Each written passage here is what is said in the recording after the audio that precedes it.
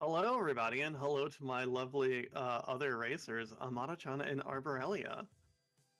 Hey. Uh, Hi. And uh, today we're going to be running Metroid Planets, which you'll see very quickly kind of comes over as like a bit of a Metroid Maker, where people make their own rooms. They get thrown in a generator. It throws in a bunch of items and it shuffles them all up, and then you end up with basically a randomized, completely like randomized. Not only in the items are shuffled, but we don't know what rooms are going to be in this. We don't know like what order we're going to see the rooms. We don't even know where we're starting. So it's it's going to be an, a discovery experience for all of us. Uh, and we, we kind of vaguely know what items we're going to get, but we'll see we'll see how that goes. So basically, it is a completely random Metroid One style word room, uh, world, geez, world with some extra things tossed into it. And uh, since our lovely runners here cannot talk to you during this race because you know we'll be racing, we have the lovely Grey Goo Girl uh, doing commentary for us. Hi, y'all. So I've said too much already. We'll probably get this going. Is uh, our, our our other lovely runners on the start game screen? Yep. Yep. All right.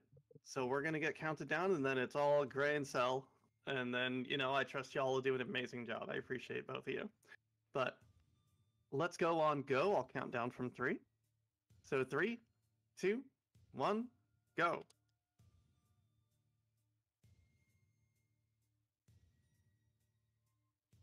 All right, here we go. Seven's loading into the first area. This is the landing zone.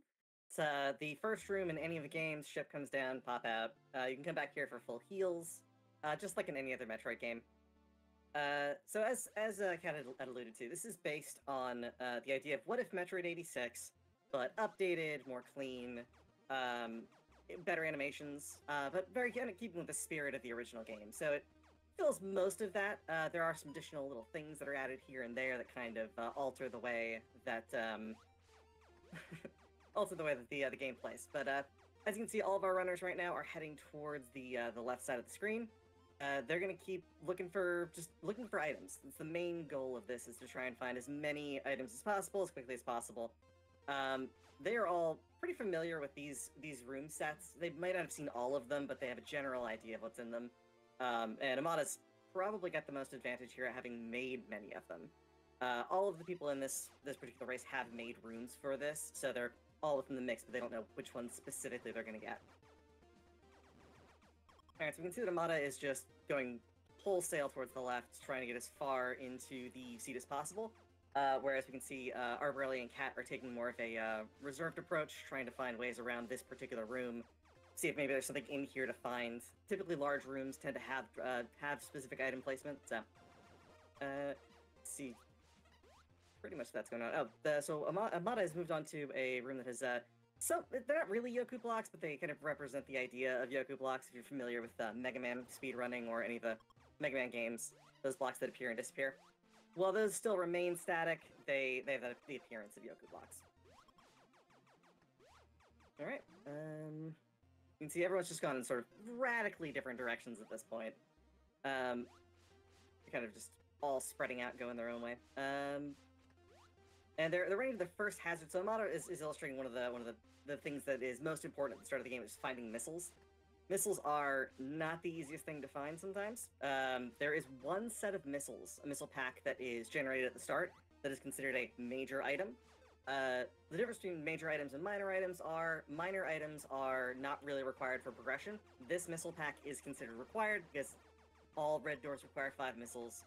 You can't get further into the seed without having those first five missiles.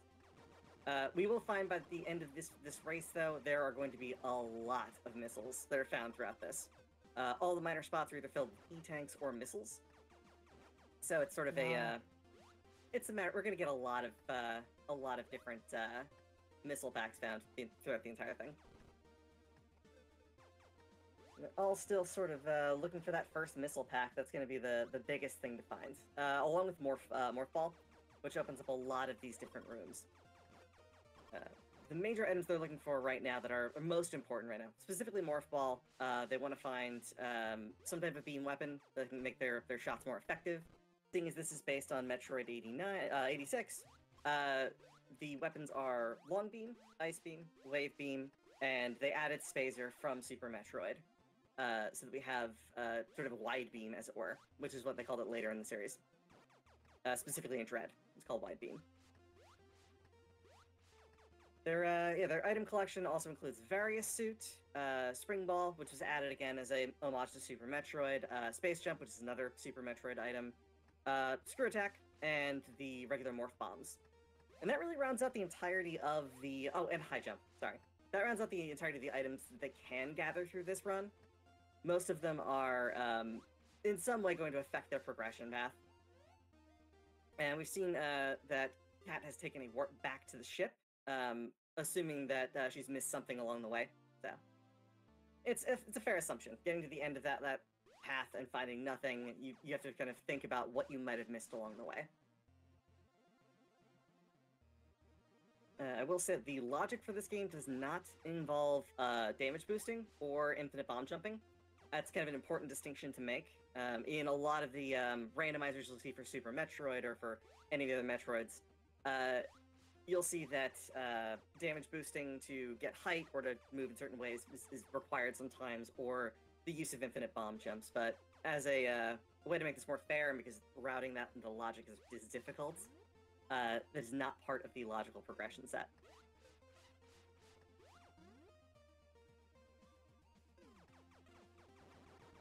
Yeah, this room that they're looking at right now, Purple Bridge, that is going to contain their first logical progression item.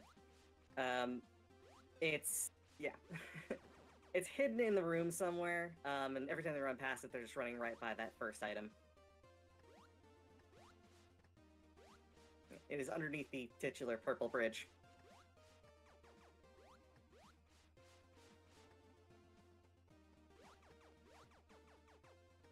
Eh, it looks like Aurelia had had the right idea, but didn't quite make contact with the right spot on the bridge. And it looks like Flannel Cat's the first to find it. Uh, it's going to be their high jump. High jump does exactly what high jump is uh, expected to do. It's going to give you some additional height. It's going to make doing certain jumps way more possible.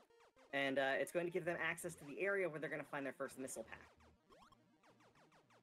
And uh, Cat now has uh, a whole bunch of different places she can go to find uh, any type of progression. Uh, you can see the, the jumps she's doing are just substantially farther, substantially higher.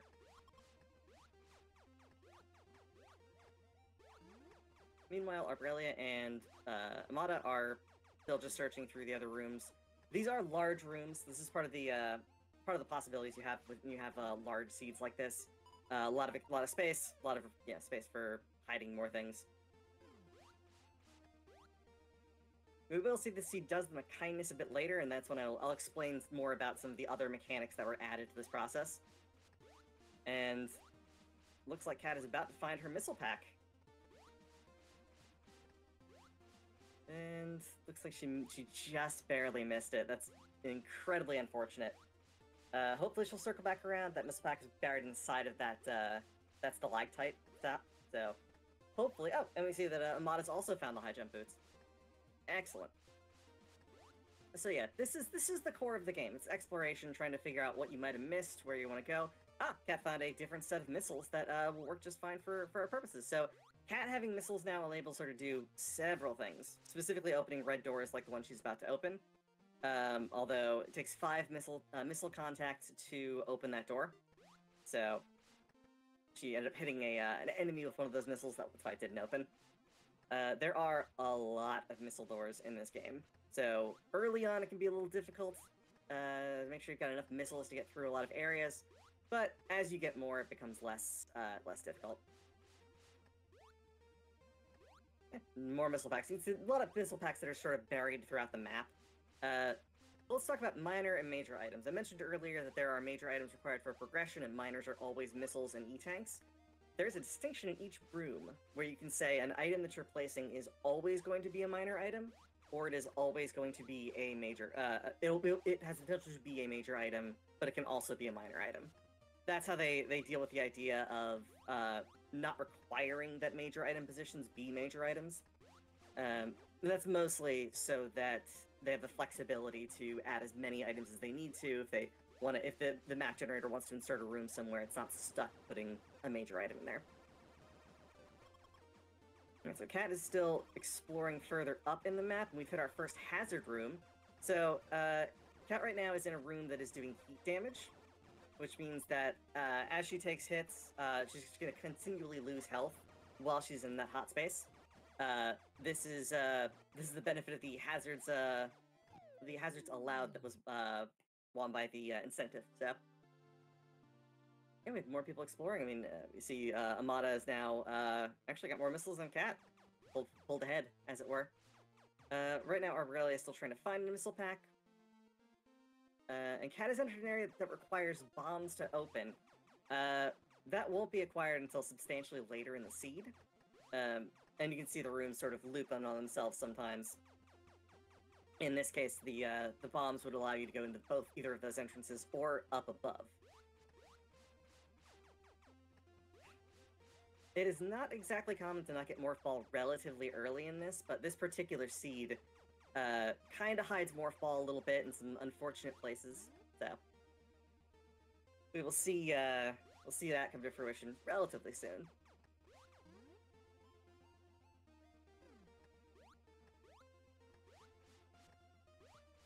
Uh, so, if you have anything you wanna you wanna add? Feel free.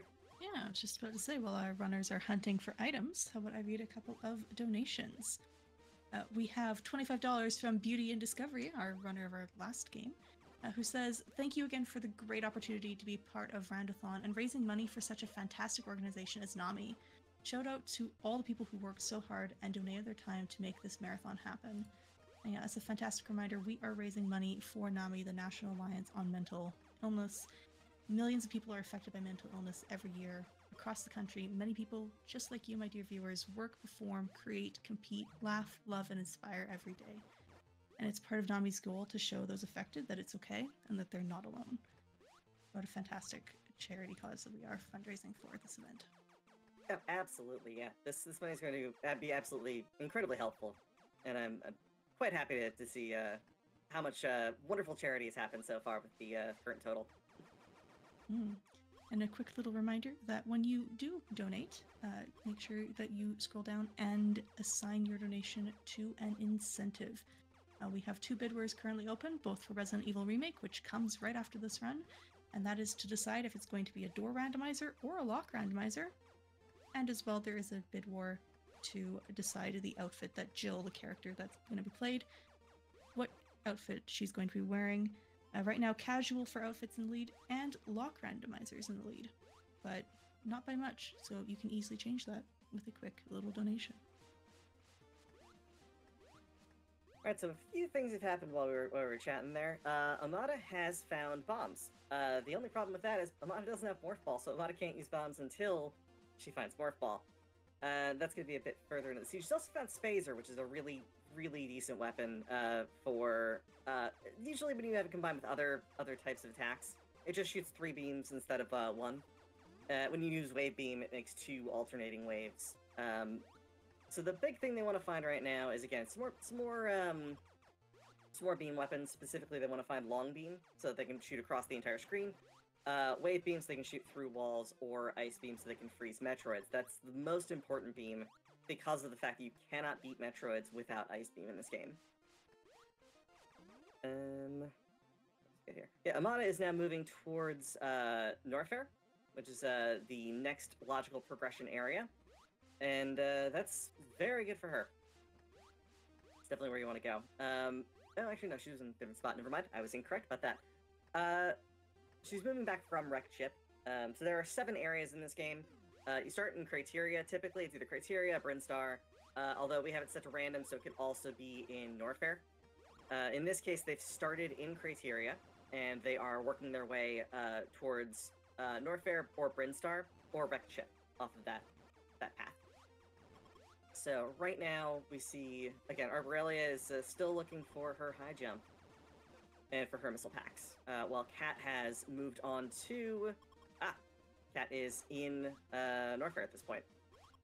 So just gonna grab these two items that are in this room and follow it up with, ideally, if she's if she's lucky, she's gonna pick the right direction out of here. But that's gonna be, yeah, not guaranteed. And she did. She went towards the uh, the room that houses the morph ball. Um, it is a very tricky and relatively difficult room to kind of work through, but with Space Jump, it's substantially easier to navigate. Also, what Kat sees right there is uh, an item she definitely wants, uh, which is uh, that is a core. So this game adds a thing called uh, called cores. Cores allow you to have additional specific uh, functions. So in this case, the core she saw there was the sensor core. It will highlight breakable walls. It will give her an idea as to where there are false walls. It is incredibly useful for speeding up the traversal of this game. So she saw it, she wanted it, she doesn't think she can get it yet, which is why she moved on.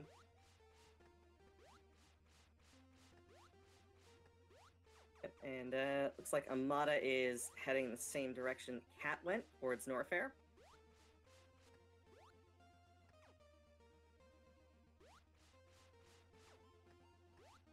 And uh, yeah, Cat's just exploring more of Norfair. Um, you can see with this room that that elevator only took us part of the way up, so she's using space jump to traverse the entirety of the room to see if there's anything special up there. In this case, it is, if I remember correctly, an E-tank. Yes. Uh, I actually was the person who vetted these seeds, so uh, this is kind of fresh in my mind. I ran them yesterday, so I have uh, some idea. I also have a spoiler map so I can see where everything is, just to kind of keep things easily explained. It looks like uh, Amada has uh, found Norfair. Excellent. Let's see if she gives the uh, little guy room a chance.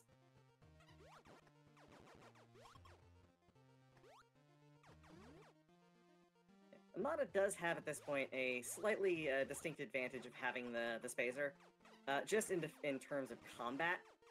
Very very important to have that little bit of edge. Um, this room has that particular little feature where if you break one specific block, the entire outline of the little guy, as it were, breaks open, revealing for her the morph ball. Uh, that puts her firmly in the lead. That morph ball is one of the harder things to find in this seed, and it is uh, yeah, quite quite important for progressing. There's there's no way to finish it without having without having morph ball.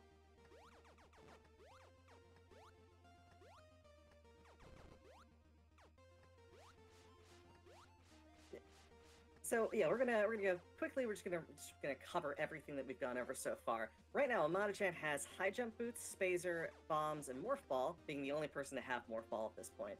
Uh, Kat only has bombs and high jump and is currently exploring Norfair, and Arborelia is still looking for her high jump and her uh, first set of missiles.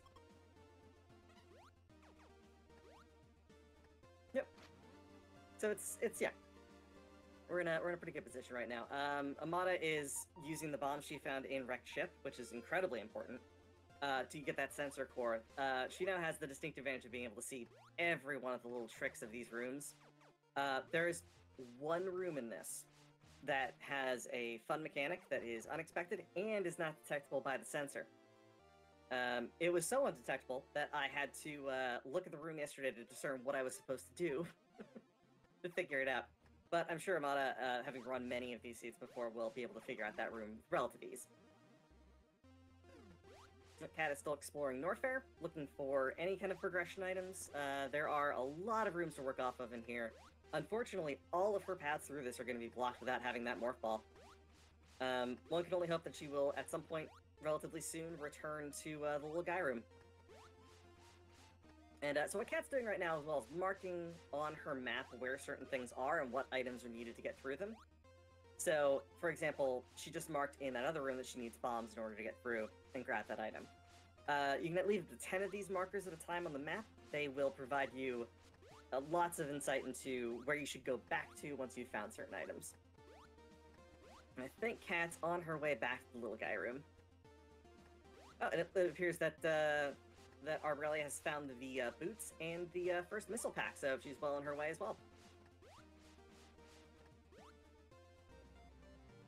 Amada is now doing uh, what we colloquially refer to as a um, as a hazard run, uh, where she's just pushing through a hazard room as fast as possible, trying to get as uh, as many items as possible out of it before perishing. Because hazards are on, it uh, it definitely sets her up for um, for having to do a lot of those sorts of runs. Uh, they want to get as much health as possible so they can get through those runs without without dying. Um, given where Varia suit is in the seed, this is one of the reasons why this seed was picked. Varia suit is buried pretty deep into the Ridley section. So getting through the hazard areas of Norfair into the hazard areas of Ridley and finding it is both challenging and interesting because there are a lot of hazard rooms in between there. Our runners know this; they should be able to cope with that and deal with the uh, inevitable outcomes. Uh, you can see Cat right now trying to figure out which one of these blocks is destructible, um, and she's pretty confident that at least one of them is. And I think she's about to find it right now. There we go. so Cat has now found the uh, what is going to be the morph ball, and that is another step forward. Arborelia has just caught up and caught the uh, space jump. Interestingly enough, um, if Arborelia does go towards the little guy room, uh, she might find morph ball quickly, and that'll put her back on even footing. Uh, we can see Amada right now specifically doing uh, another one of those um, hazard traversals to try and get further in. Uh, she is gonna run into a bit of a wall um, when she finds Ridley, so she's she's on her way towards the Ridley section, looking for that that Varia suit. Uh, what's going to happen though? She's gonna hit this first room in Ridley, and it is going to stop her cold. There are again multiple checks people build into these rooms to force the runners to have specific items before they can get through. In this case, the one that leads into the Ridley section is unfortunately uh, Spring Ball. So it can only be traversed and completed with Spring Ball. It's one of the more effective versions of that that I've seen. Again, at this point, Amada has a pretty substantial lead with having bombs and having that sensor core. Um, what Amada is doing right now is trying to uh, cheese through one of the sections. This section is supposed to be done with Spring Ball. These are called security vaults. The way security vaults tend to work is you need Spring Ball to traverse that section up top. Um, oh, that is that is very painful for her. Uh, so she got through using a bomb jump, which is not the way you're supposed to do it, uh, but accidentally reset the door uh, on her way out. So there we go. She got she got it this time through. Um, those are Zebetites. Uh, traditionally, they're in uh, the mother brain room of the game. Uh, they require 10 missiles. They start regenerating if you don't shoot them fast enough. They're found in basically every vault because you cannot shoot wave beam through them to check what the item is. You have to finish the vault to see what that item is. Alright, so we see that uh, Amada has found Ridley and she's about to hit the first major stumbling block.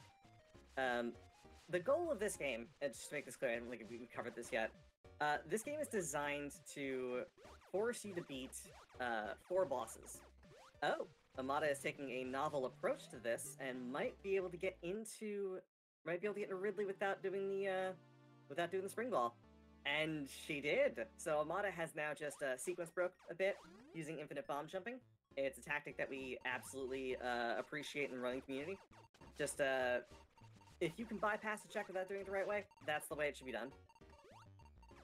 Uh, so uh, right now, Amada is just going to see what she can find in here what she's gonna find is a whole lot of hazard rooms.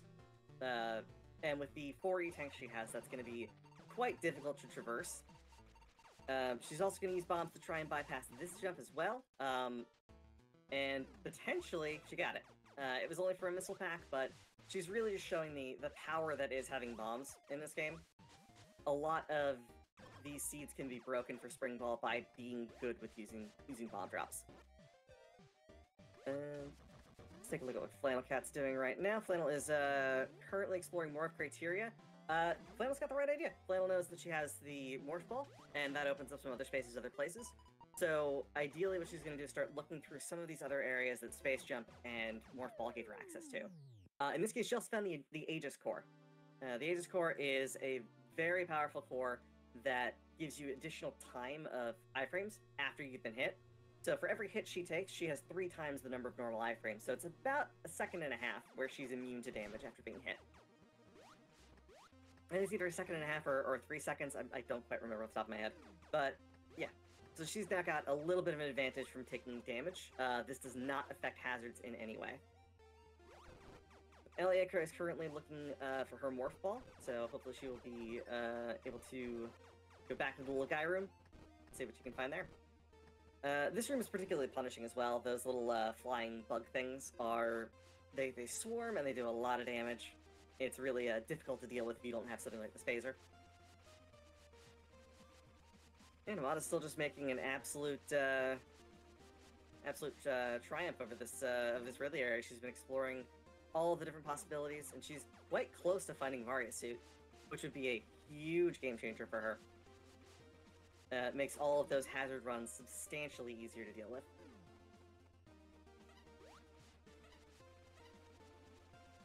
Uh, so, do you have anything uh, you want to add in?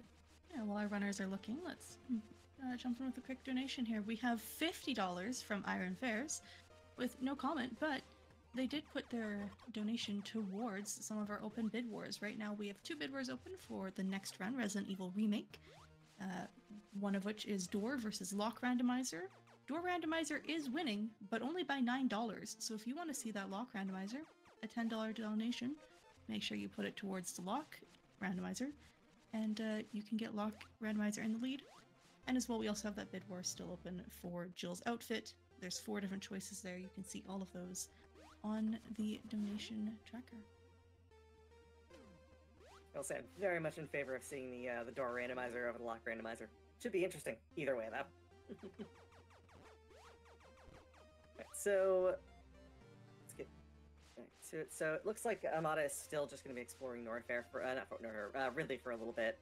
Um, she knows there's something here. Uh, there's always going to be something accessible in these areas. They tend to try and distribute uh, two major items per area, uh, something like that. It's not always that that solid. Sometimes it's three, sometimes it's one.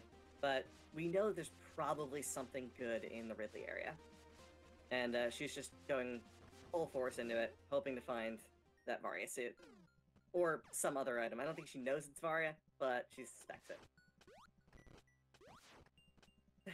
she suspects there's something there, rather, I should say. So, um, looks like Elia is still looking for her morph ball. Um, there are, again, there are a lot of ways to get tripped up in this looking for some of these early items. Um, and in a room like the little guy room, where it is a very difficult puzzle to solve, it's not very clear how it's supposed to be uh, solved. It can be a little daunting. It's why people sometimes tend to back off of these things. Um, it looks like uh, looks like Amada has decided that it's just the juice isn't worth the squeeze, and that the uh, the runs through the hazards are not really benefiting her. So she's gonna go looking for other things to do. There are quite a few. Um, her advancement should be pushing her more towards going to Brinstar. Uh, at this point, Brinstar is really where the, the where the uh, the push forward is going to happen. Uh, there are again four bosses: uh, Mother Brain, Kraid, Ridley, and uh, Spore Spawn making an appearance from Super Metroid. Uh, the Spore Spawn rooms are actually a lot of fun in this. They're designed around a uh, somewhat true to the Super Metroid version of Spore Spawn, in which Spore Spawn moves around the room uh, while there are different spores that are released from the sides of the walls, and uh, your idea is to just try and, when the mouth is open, deal damage. Uh, it's a little more simplified than this, uh, a little less. Uh, he's a little less angry. Put it that way. Uh, the fight does take a little bit of time, and it is required to clear clear spore spawn if they are spawned in. Uh, you will see that the boss fights in this game are very, very reminiscent of the originals, in that Ridley and Kraid are really not that difficult from a proper boss fight perspective, unless they, they draw bad arenas. And it's entirely possible. There are a lot of different arenas that are built for each of these boss fights, and some of them are just designed to be really, really hard to navigate around.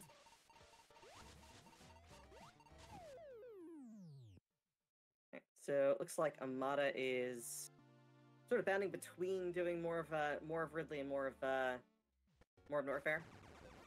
Um, with her current loadout, though, Brinstar is definitely the, the place to go. Uh, looks like Cat has found Rex. Uh, oh no, Cat has found Brinstar.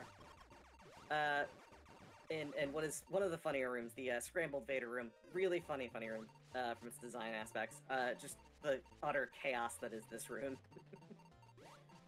Uh, it's based on um, there are certain rooms that are very popular within the community. Um, those vault rooms that we saw earlier are a running joke within the community. There are dozens and dozens of variations of them. Lots of people adding things. And what Cat just illustrated there was our first map room. So when we find a map station, we can use that then to chart specific areas of the map that we want to see. Places we suspect there are items, or places we're not sure if there are external paths. And she also found the Surge Core, which is another really, really decent uh, core. Uh, gives you an auto fire, so really great for not having to uh, spam buttons. Uh, it does slow down if you hold the button down too long, though, so and she found Ice Beam, so she can now combat Metroids. That is a very, very important thing. As we can see right now, Amada is dealing with the fact that there are Metroids in her way. Uh, in, I believe this is still, yeah, she's still in, in uh, Norfair. Uh, going past a Metroid without Ice Beam is considered out of logic. So right now, Amada is just hoping she can find something in this area that will uh, justify bypassing those Metroids and skipping logic. Cat's returned from Brinstar. Uh, it looks like she's gonna do some more exploration in Crateria. Uh, her goal right now is finding bombs. That's really the thing that's holding her back. So hopefully we'll see her find the other elevator, which is actually right in this area. So the other elevator is really, really close by, uh, which will allow her to get down to wreck the ship, allow her to find bombs, uh, and allow her to progress. and uh, as far as Arborelia, he is, again, still looking for that Morph Ball. Morph Ball is elusive in this. It was put in a place that is like, very tricky to find, very tricky to execute on, because it is just one giant puzzle room with a single block that is accessible. It's a matter of going through and just testing all of those blocks. Yep. Uh, what Kat just illustrated there, the uh, endless room that she uh, she just shown, that is uh, a clear example of a one by one cap room. A lot of them are a door that goes in and just doesn't. There's nothing in there for it to go. There's no place to go, so it's just sort of a way to cap off spare doors. Uh, the logic of this map generator kind of requires there are a lot of those. Is there are a lot of people that build massive rooms that have lots of doors, and if you don't have enough caps to close those off, you either have to build loops around those doors, and the shapes can be very different. So it's it's good to have a lot of uh, single room terminators like that. Uh, it's not something you typically see in the original Metroid because they, they wanted to make sure they were maximizing all of the map building so that it was useful to, to a certain degree. There are a lot of like blind alleys and uh, rewardless sections in the first game. Looks like Kat has found wrecked ship, uh, which I know is one of her personal favorite rooms. Uh, the room she's in right now uh, is called the uh, the hallway back rooms. It is uh, a joke on liminal spaces, um, which I believe she's seen before. Given her behavior, and there are her bombs. That is a big step forward for her. Uh, so she's gonna take those bombs. I assume, and this is what I would do. I'm sure this is actually what I did when I found that. Was immediately went back to grab the sensor core being able to see that in in uh, Norfair is a great motivator to go back there as soon as possible and grab it because it's going to show you all the little secrets. Uh, in this case, though, uh, she's opting to do these rooms. Uh, this is a uh, destroyed version of the Vaultway. It's um, kind of unique uh, as these games go, specifically with this particular uh, this particular map style. Uh, again, this is sort of like the vault. It's an inside joke, so there dozens and dozens of variations of it. In this case, uh, the vaultway is typically a 2 by 2 uh, sorry, 2 by one where you go in the vault, you finish the vault, there is a door into another vault behind it, usually hidden and obscured, so people either have to open the vault to figure out there's more, but in this case, it was a condensed, kind of crushed down version of it. Yeah, Kat is doing more exploration through the wrecked ship, hoping to find uh, any number of progression items. Uh, and with her having her ice beam already, she's able to take out these Metroids without any uh, any consternation. And with bombs, she's able to get them off of her, which is an, another very important aspect of, of uh, early Metroid. The only way to get Metroids off of you once you've got them on is to drop bombs. Which I carried through into the other the other games in the franchise as well. Uh, you see that in Super Metroid, although you can also use power bombs to kill Metroids when they're on top of you anyway. Uh, so now we get to see if uh, we get to see if Kat's going to try and do a uh, spring ball manipulation to get past the spring check. It's entirely possible. This one's a bit harder. Uh, the ones that uh, Amada skipped over earlier were closer to the ground, uh, which means you can drop bombs and use them to kind of launch yourself back up. In this case, the way it's set up, it's not really as feasible to skip it. She also has to be very careful. if there is a, a if there is a, an elevator on the other side, say that wreck ship were to lead somewhere else, um, which isn't really in logic, isn't really, really happen, but if this were any other area, uh, when you reach an elevator, you are locked to that elevator. When you respawn, it'll take you right back there. So, Kat needs to be careful uh, when doing these sorts of skips that she's not going to get stuck on the other side. Uh, there were several seeds that were pushed out of the way for this seed specifically because of the fact that they had little little things like that that caused soft locks. Uh, should be pointed out these are all community rooms. They're all made by people. People are fallible. Uh, so a lot of these rooms, there are rooms that will have issues with the way that they're logically laid out. They might not account for having or not having certain items. So in the case of the, the map room, the, the room I was talking about earlier, it required wave to get through, but it would lock you to the elevator, meaning that if you didn't have wave, you couldn't get back. So you didn't need wave to actually get locked to the elevator, but you did need it to get out. And as it was a gateway to another area, you wouldn't be able to get wave in that area. So let's take a look at let's take a look at Arborelia really quick. Uh, looks like Elia is uh, still looking for Morph Ball. Um, and that's again deeply unfortunate, and it's not the like not the easiest thing to find. Uh, and this is a, a key example as well of getting locked to an elevator. Uh, Elia got to the Ridley elevator, and in a, an attempt to warp back to the main area, decided to go to Ridley, which clearly isn't accessible because it requires Morph Ball to get through. And Amada right now, still exploring Crateria. Cat running through wrecked ship still. Um, eventually, they're all going to turn back looking for other things. Um, really, it's a matter of just figuring out where, for logic's sake, where Springball is next. That's what both Elia and that's what Cat and uh, and Amada are looking for right now. Uh, that's really the the next logical step. Yeah. Yeah. Uh, after that, it's just Varia suit, and then they start going for bosses. Uh, the beam weapons in this game are useful, but they are seldom required. Wave is the only one that gets a lot of real attention, and sometimes long beam and wave are combined to make specific checks happen.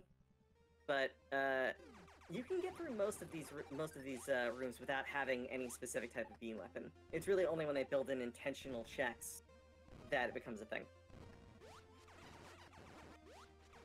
Elia looks like she's heading back towards the uh, the area towards Crateria. Um, hopefully she decides to take another look at that little guy room. Uh, I know when I was doing the vetting, that also tripped me up. So it is a uh, an odd room, and it's one of those things where it seems like it's larger and too and too um, obscure to really dive into. But yeah, there we go. She's taking another crack at this, trying to figure out how to solve it, knowing that there are items she can't see. There are two missiles that are openly available. There is one item that is in the middle in that central core area that is completely obfuscated. So I think she's kind of figured out that this is going to be where her morph ball is, and she just needs to just hopefully hit that one corner. And it looks like she's uh, spawning back in. She's using uh, a tactic uh, called fire. Well, not called anything. She's firing missiles at blocks uh, to try and determine what type of, of blocks they are. Uh, just to make sure she's not looking at a bomb block that she can't break. Uh, in this case, if she hits it with a missile, it's not going to reveal anything anyway. It's just going to break the block. So it's a matter of she's going to go through and just one by one shoot at these uh, these blocks to see if she can find some indication of what to do. These rooms are uh, this room in particular is very tricky. It's uh, got one tiny hidden section. Also, uh, you can see a message from the creator of that room. It says sorry in the bottom corner because it is again kind of a trollish room in how it's hidden that block. Is kind of unfortunate. Ah, Namada has found her ice beam. That is another another step towards logic. Um, in this case, um, since she's going for spring ball, she should probably explore more Brinstar. Um, she might take this idea and turn around, look for other things that ice might make accessible. There is the spring ball. Uh, it is in the same room. Uh, Kat had missed it earlier, and she just found it. So they're both pretty much on par with each other. Um, the only thing that Kat is missing right now is uh, the Spazer. Otherwise, they have the same item loadout. So yeah, Spring Ball is uh, going to be important for getting past some of those checks. With high combined with high jump, they've got most of their movement tech at this point. There isn't really any kind of movement tech check they can't get past. Uh, it's not going to be doing a lot of hazard runs. It's going to be finding those other those other weapons and uh, yeah, figuring out where their Varia suit is. Uh, also, screw attack, but that won't come into play later. That's uh, buried very deeply in the seed and is the last item they should find. If uh, there are any donations or updates, uh, feel free. Yeah, absolutely. I would love to just remind everyone that Randomania is here in support of NAMI. The National Alliance of Mental Illness is the nation's largest grassroots mental health organization dedicated to building better lives for the millions of Americans affected by mental illness. And their vision is to provide advocacy, education, support, and public awareness so that all individuals and families affected by mental illness can build better lives. If you'd like more information, please visit NAMI.org. And of course, we still do have those two bid wars open uh, for Resident Evil Remake. Uh, you can check those out either our donation page or at the incentive page. And don't forget, if you are making a donation, make sure you go and assign your donation to an incentive. Don't let your money slide past those incentives. So we can see uh, Cat using more of that map to uh, more of that map station to reveal different places. The more map stations you find, the more charges you get. They recycle every 15 minutes, so uh, every 15 minutes from now on, Cat can drop three charges uh, of that onto any part of the map. So locating map stations and locating multiple map stations is very important for doing more exploration of the map.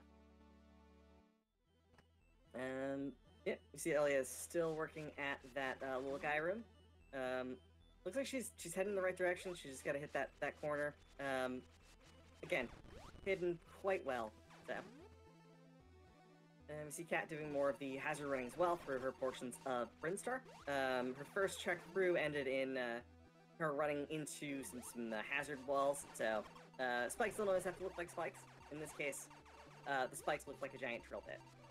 And uh, yeah, for uh, for Amada, it looks like she's still exploring part of Kraid now. So she's gotten further in. Um, there are distinct subsections for each boss. Uh, Spore Spawn will always be found in Brinstar. Kraid will always be found in the Kraid section. Ridley will always be found in the Ridley section. And Mother Brain will always be found in Tourian.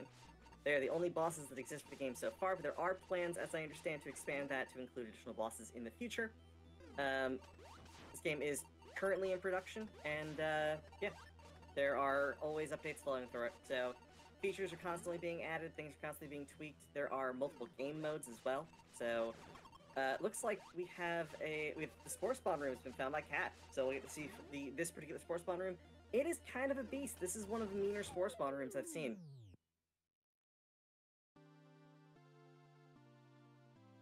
Now, Cat is trying a different strategy for uh, dealing with spore spawn, which is dropping bombs at the base. Uh, looks like she's gonna swap to focusing on on Spore Spawn directly. Uh, Spore Spawn's contact damage is pretty mean. You can see Cat taking lots of damage for each one of those hits.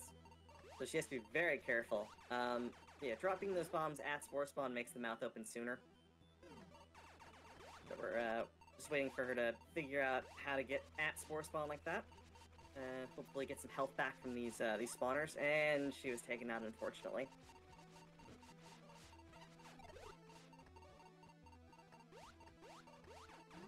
Right, so looks like Amada is still ch uh, still charging through Kraid. Again, lots of hazard areas in this. Uh, this room in particular, there is no actual contact space with those those blocks that are raised over with flowers. So you could have run straight through them, but given that she has space jump, it doesn't matter either way. Um, it just yeah, just one of those things where it's kind of trolling, but not really. And it looks like uh, let's see, she's found the Kraid room. Uh, this is uh, unfor- this is uh, one of the things where she has an advantage. This is a room that was generated by, and it was built by her, so she knows how it's supposed to work. Uh, she also found Screw Attack, so that's a very, very big find. Uh, that is going to make combat pretty much trivial for the rest of this, but the problem is Amada's now got to kill, now gonna kill Kraid in uh, 30 health, which is just not going to happen. So she's going to have to run back there and take care of Kraid. It is not a short run back. Alright, so it looks like uh, Elia is once again going looking for that morph ball. Cat is yes, her way through uh, through Brinstar, going back to that Spore Spawn fight. Things have really picked up. Um, these fights, uh, we've seen the first boss fights. There are, again, going to be all total four bosses, uh, three of which are actual bosses, and uh, Mother Brain's more of a, um, more of a puzzle room than a boss in a lot of ways. Um, usually, when you talk about the original game, it was literally just destroy the Zebetites and then shoot Mother Brain. But in this case, uh, usually these rooms are more complicated, they have more hidden Zebetites, and cannot hurt Mother Brain until the Zebetites are destroyed.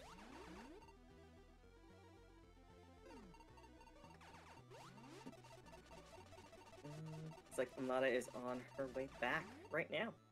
So we've uh, we've hit a point where we've got two two people going straight for bosses rather than looking for additional items because they know they can take those bosses out. Uh, Amada is just going as fast as she can through these uh, through these hazard zones, knowing that the faster she can get through, the easier things are going to be for her. Uh, having space jump early kind of negates some of the challenges of some of those those rooms like that, where it's expecting you to have a certain wave beam to open up a bridge. In this case, uh, having that space jump just lets you completely bypass that. Uh, looks like Cat has found Tourian. Um, Tourian is um, normally, if you're talking about the original game, Tourian is just a section that leads up to Mother Brain, so there are no things to be found there. But Tourian is considered a valid area in this, meaning that Tourian can have progression items. Um, that's one of those things that definitely throws people the first time they play through this. And Cat, seeing she doesn't have enough missiles to handle taking out the Zebetite, uh, is now taking out some Rinkas. Hopefully to get some additional missiles. Uh, the Rinkas are pretty generous with the missiles they drop, so typically they'll always drop missiles, um, unless they're so you're desperate on health. And Cat is unfortunately hit yet another hazard area with very low health, so it looks like she's probably not going to make it through this. Uh, I should also call out the uh, the idea of doing the respawn. Uh, if you do a forced respawn, it will take you back to the elevator, give you full health, give you full ammunition, and maintain whatever progress you've gotten thus far. Uh, it's akin to what you can do with Super, uh, what you do with regular Metroid, where if you have the uh, second player controller, you can hit a reset code that'll move you after certain events have happened. It'll save that progress. Uh, it basically just ends your, your current your current uh, run and takes you back to the last place you respawn. They just made it easier because there's no reason to have two controllers for this. Okay, so didn't quite see if Cat took out uh, Spore Spawn, but I would I would assume so, given her progression onto Tourian.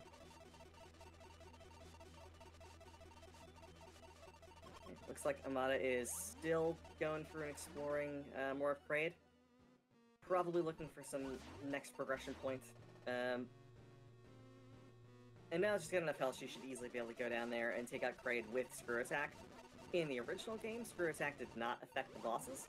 Um, in a lot of later games, Screw Attack doesn't affect bosses, but for this game, because of the style and design, it does. So she should be able to get Kraid. She got Kraid down. Excellent. Uh, if you're familiar with Metroid 86, you might know that killing the bosses in that game gives you 50 missiles. That's been removed for this. Wasn't necessary, uh, since there are just so many more missiles spread about. Um, looks like Amada is doing a force respawn as well. It is faster to respawn if you know you're not going to make it through a room than it is to take the death. Uh, just marginally so. Looks like Cat is uh, still going to go through and look for more of Tourian right now. Um, so, given what Amada has and what Cat has, their their next goals are going to be finding that Varia suit. That's really going to give them carte blanche to look anywhere they want through the rest of this map uh, to try and find that wave beam and that long beam. Uh, yeah. So they're they're burning through this pretty quickly. Able to find out a lot of these things quite quickly. And as we see, uh, Elia has worked her way through the little guy room, gotten Morph Ball, and is now in the process of looking through some of the other areas in Crateria that were missed the first time. Uh, she does not have not have bombs, but she does have missiles. Missiles can be used in place to get through regular breakable blocks, not bomb blocks, just breakable blocks. So she's able to use missiles to do that little bit of uh, additional braking. Uh, they do not have a limit on their range, so they go about as fast as you can fire them. Um, and they they are you only have one on screen at a time. So with her with her current setup, she could take a couple seconds just to fire those missiles. And Amada trying to sneak through the drill bit. That's just not how that works. Uh, those are considered spikes, so they do additional damage. Um, you kind of think of like some of these elements as being background elements, but in that case, it was foreground and doing damage. Spikes that aren't spikes, always fun. Uh, see Cat has kind of given up on doing Tourian for now. It's all hazard runs, so there's really nothing she can do. And the the most she can she can glean from that is either finding a major item stored there, or figuring out where Mother Brain is. Uh, and that's really another another key point of this game is figuring out where these boss fights are. You can only glean so much from doing map station checks. Uh, they will tell you if you find a boss door directly, but it's usually faster and more efficient than waiting for charges to try and find those boss doors yourself while you're looking for items.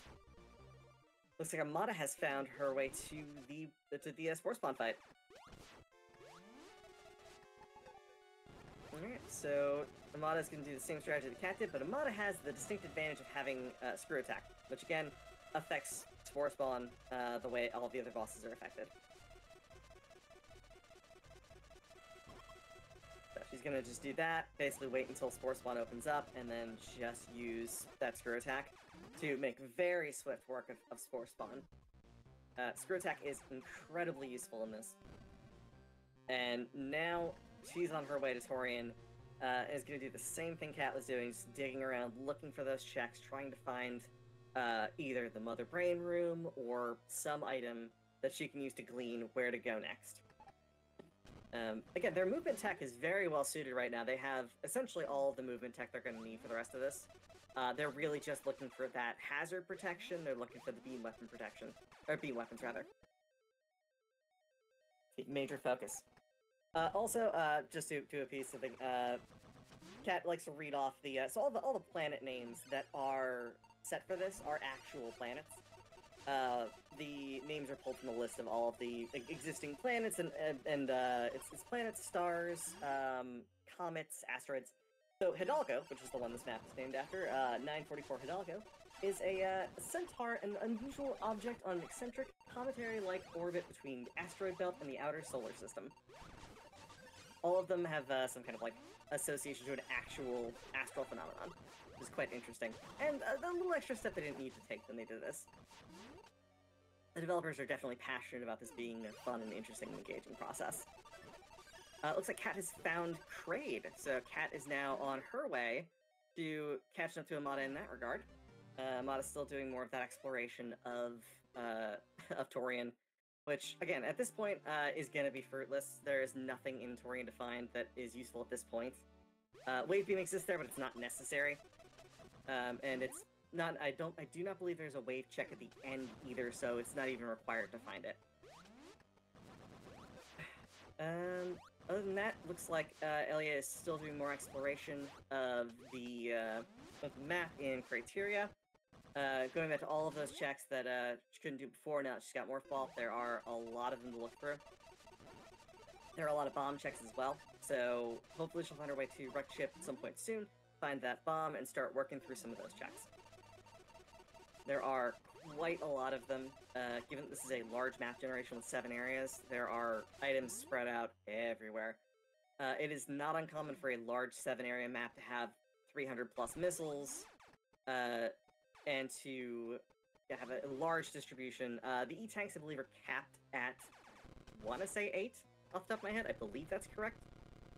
Uh, but they are capped, so there are a lot of missiles that'll fill in that extra space. It looks like uh, looks like uh, Amada has found uh, one of the safe areas within Tourian and is exploring a bit there. Uh, she might actually find Wave. See another one of those uh, single room end cap Terminator things. Uh, so kind of solving this this puzzle room uh, for Kraid the way that it is expected to be solved, uh, and that is by trial and error, going up and down, figuring out what of those combinations will lead her to the uh, the right doors being open to, to fight Kraid. It's difficult and it is a little bit time consuming. It does not look like she found Screw Attack there. Uh, let me just confirm that with the next. Yeah, she has not found Screw Attack. So it's not going to make a lot of things easier. It's also not necessary. Screw Attack doesn't really pass most checks. There's, I believe, one designer that makes checks that require Screw Attack. Um, it's really not something that's common, and it's almost never logically blocking. Alright, um... What else there's say moment? Uh, if you have any, like, donations, announcements, that kind of thing, that would be wonderful right now. Yeah, absolutely. This race has been so interesting to watch so far. Um, just to remind the folks of a little bit of what NAMI does.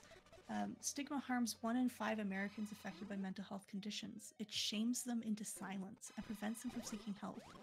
The Stigma Free campaign is NAMI's effort to end stigma and create hope for those affected by mental illness. Through powerful words and actions, we can shift the social and systemic barriers for those living with mental health conditions.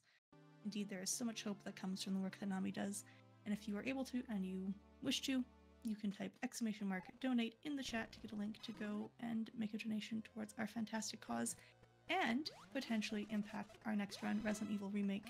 We do still have those bid wars open one for door versus lock randomizer and one for Jill's outfit in the game.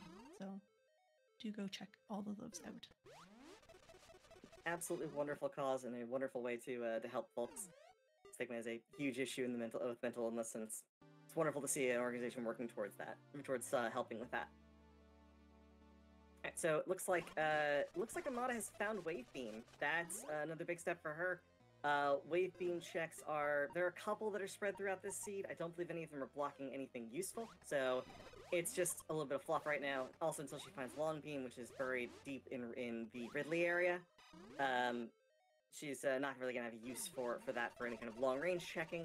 There are certain ones, specifically like the one we saw with the robot there, that uh, block that door, and I believe she's on the path right now to where Mother Brain is gonna be, but given the way, oh yeah, j- given the way that these maps are structured and how the uh, how the gameplay tends to function, she won't be able to get into that and uh, and fight Mother Brain just yet.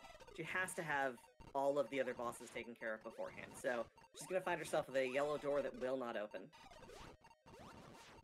Hopefully, uh, can use that knowledge then to just know like once she once she gets those two bosses done, she's basically clear to run straight to Mother Brain. It's just a matter of well, actually she still only needs Ridley. I think she's looking right now primarily for uh, her Varia suit. I do not believe she's taken out Ridley at this point.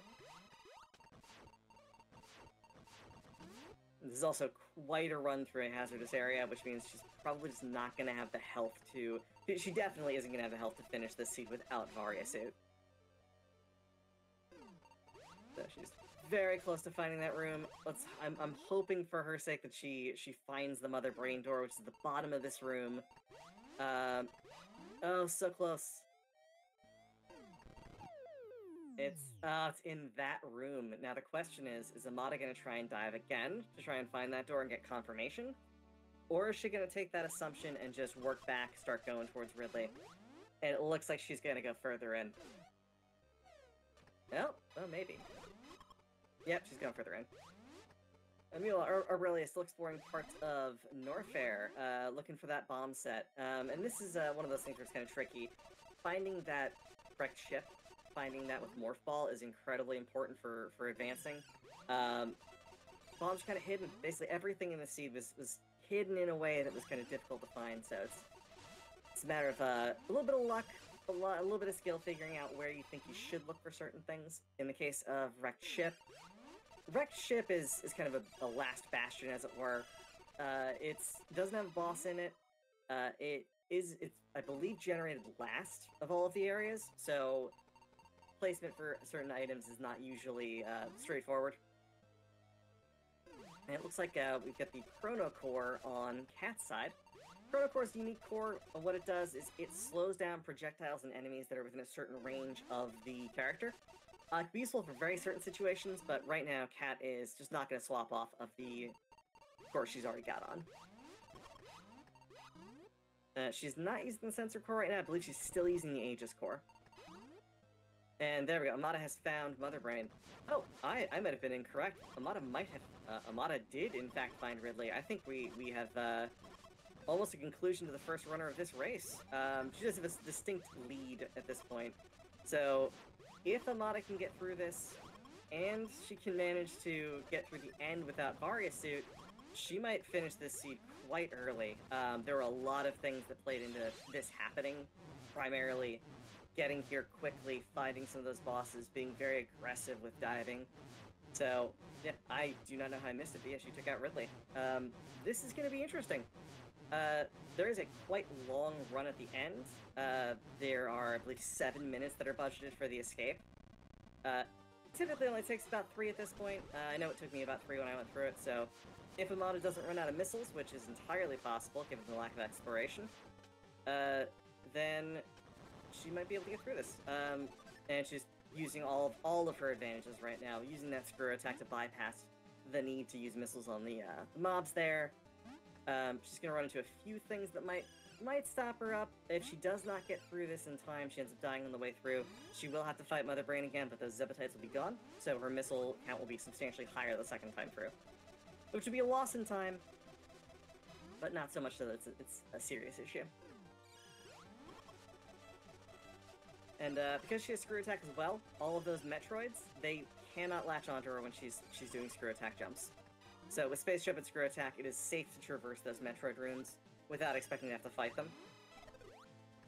Also, using the freeze to just sort of bypass certain things uh, like that, specifically keeping the Metroids away, kind of thing. It's always very useful. Now, this is the obstacle course. I believe each one of those uh, heads right there are considered spikes. So she's going to try and navigate through here without touching any of those as much as possible. Um, there's also uh, crumble block floors that will reseal back up if you touch them and fall through, and uh, they will require you to go up into the ceiling and run back out. And Amada is in the last stretch of the run at this point, um, just really cleaning up. You can see our other runners still have a ways to go. And uh, yeah. Spring ball check here. Um, that has tripped up more than a few runners who just didn't get Spring Ball. Uh, Amada is now trying to farm health off of the Rinkas here. Because she knows she takes too much health, she's gonna have to redo this whole run back, so... And she's not sure what rooms are coming up next. She's not sure if she's gonna run into a, uh, into a hazard room that might do some additional damage. But she is pretty much free and clear at this point. There's, uh, at this point, two rooms. I do not know if there are hazard rooms off the top of my head, but we will see. Uh, she's almost made it, and she's got plenty of time. The timer for this is incredibly generous. Uh, I expected that hazard room to take a lot longer, the one specifically with those floating heads. Uh, so now she's just gotta avoid some Rinkas, get through this, go through the top of this room, she is out. And she will be the first competitor to finish.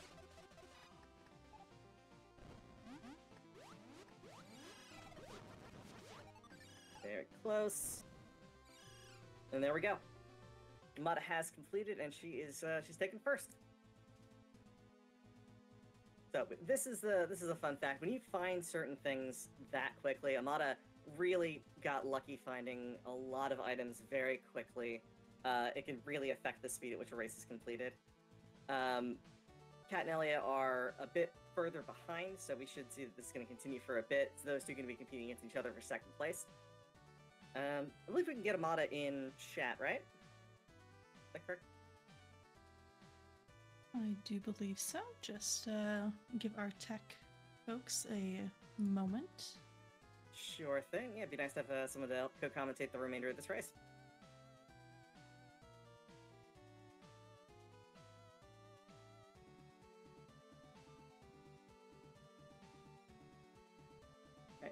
Meantime, uh, we can talk more about what Kat is currently doing. Uh, Kat's exploring more of Norfair. There are a lot of things that opened up since the last time she was looking through uh, her item selection. Um, so there are just a whole bunch of different areas that were at some point closed off. Unfortunately, again, a, lot of these rooms are not specifically necessary for navigation to find things. There are a lot of uh, blind alleys, a lot of checks that are just going to pop in here and there, missiles, e-tanks. Uh, yeah, she's also used her map uh, map finding to figure out a lot of the other places she can go right now. Um, again, having all of those map rooms is really, really crucial to figuring out where your next checks are going to be, what you're going to do through that.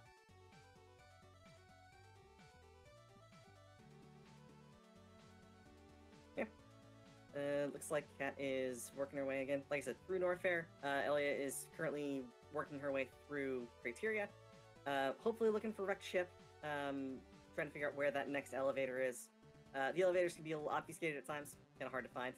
Uh, and what Kat has found there is the core dynamo. This would be more important if she were swapping cores more frequently.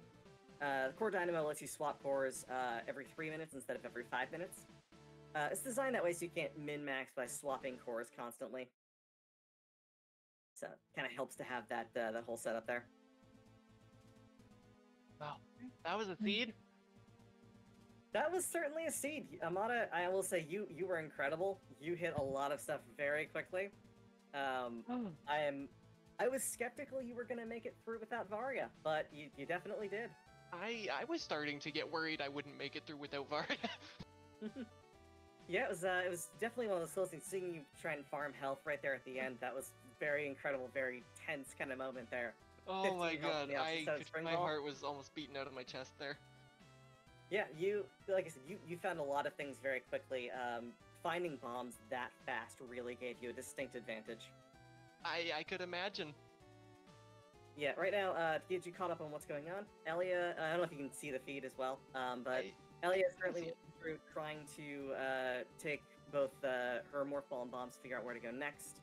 Um, right now, Kat is working through. She's got Spore Spawn down, um, and she was not able to finish Kraid in time. Um, again, distinct advantages given that you were the designer of the Kraid room. that is true. Minor advantage there. Just a slight advantage. But yeah, so uh, that's that's kind of where we're at right now. Is uh, Kat and Elia are going to be facing off, trying to figure out that second place spot. But yeah, congratulations on winning the race. Wow. I I was so worried that whole time. I was like, I need wave beam. I need wave beam. I'm gonna need wave beam. I didn't even need wave beam, but I found it anyway. Oh yeah, that was I was talking about that as as things were going on. Yeah, wave beam was very directly in Tourian, and it wasn't really that necessary for anything. Uh, you, you needed to get through that last section, obviously, to take out the uh, the robots to get down to Mother Brain. But it otherwise, it was not going to stop you from doing any other main progression. Uh, and for for the record, Varia was in Ridley's space. You just missed the check accidentally. yeah, that that checks out. Yeah. Um, I didn't actually didn't even see you find Ridley. uh, I missed that. I was too busy focusing on Kat doing exploration in other areas. I I was gonna make sure that even if the seed didn't want to give me any interesting hazard runs, I sure was. Yeah, you, you made the most of it. There are a lot of hazard runs in this. Uh, it's one of the reasons why I chose this seed specifically. Is there are lots of hazards. I noticed. Yep. Uh, it's well. You, you made a comment earlier, and I can I can share this. I'm assuming that you were hoping that it was going to have uh, more uh, potent hazards than we sometimes see in seeds. Yeah, I uh, Uh, this I did say that. Uh, you got you got your wish. I part of me escaping with like four health regretted saying that, but Yeah, so right now Kat is uh Kat is climbing the thing you climbed with bombs. That was another thing I saw you doing a lot of. Another thing that gave you a distinct advantage was bypassing some of these spring ball checks uh, by using bombs. And if you've got the ability to do it, it's always good. It's just outside of logic. So you were able to get to Ridley way sooner than everyone else. I'm gonna be honest. I completely forgot Spore Spawn was in this game when I was running towards Tourian. He- he just happened to be on the way, and then I saw the purple door. I'm like, oh right, Spore Spawn's in this game. Yep, uh, part of the uh, four boss requirement we have. Uh, when you do seven areas, you're guaranteed to get a spore spawn, so it's there's always going to be four bosses for that last one. Um, Yeah. oh, it looks like Kat managed to get the uh, the spring ball jump there, which is fantastic. nice. And Ellie and I was trying to figure out how to do that without having spring ball. Um, I do not believe I saw her pick that up. I know she has ice beam, but that other room behind it with spring ball was missed both by Kat and it appears to be a lot missed by uh, Arborelia as well. Yeah, fair enough. I mean, it's only Spazer. It's not that. I think that was Spazer. I don't even remember. No, Spazer was in Red Oh. Chip. That was spring ball. So spring ball is absolutely required for some of these.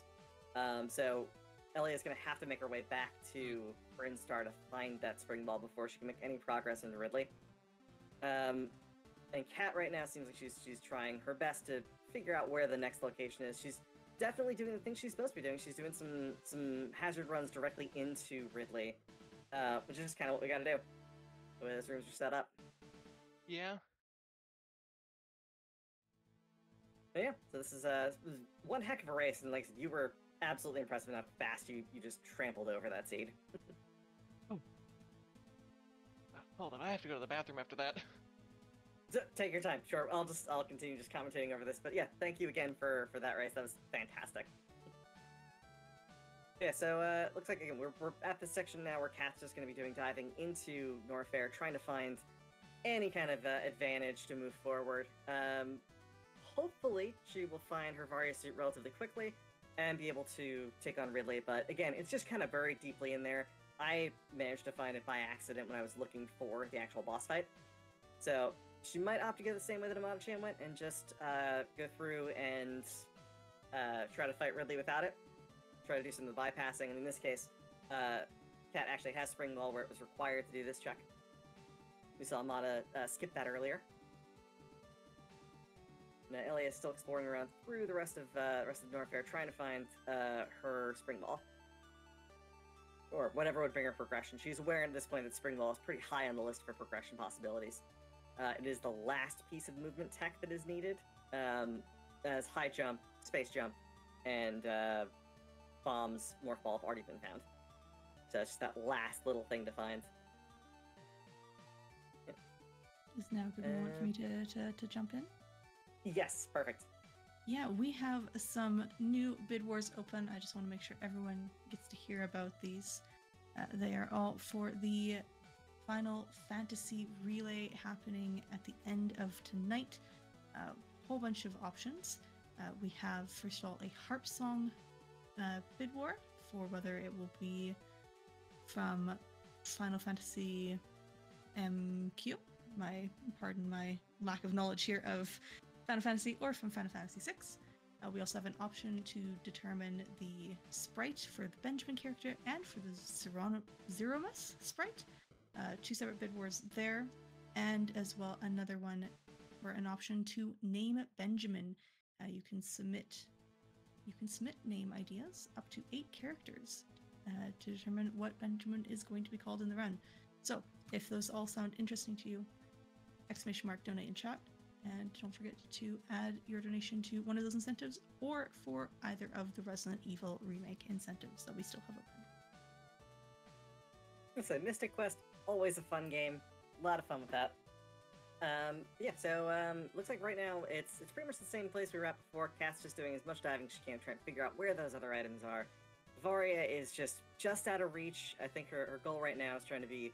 Oh, she's actually on her way right now to where Varia is. It's on the other side of this room. Uh, should be in a room off of this. If I remember correctly, that is.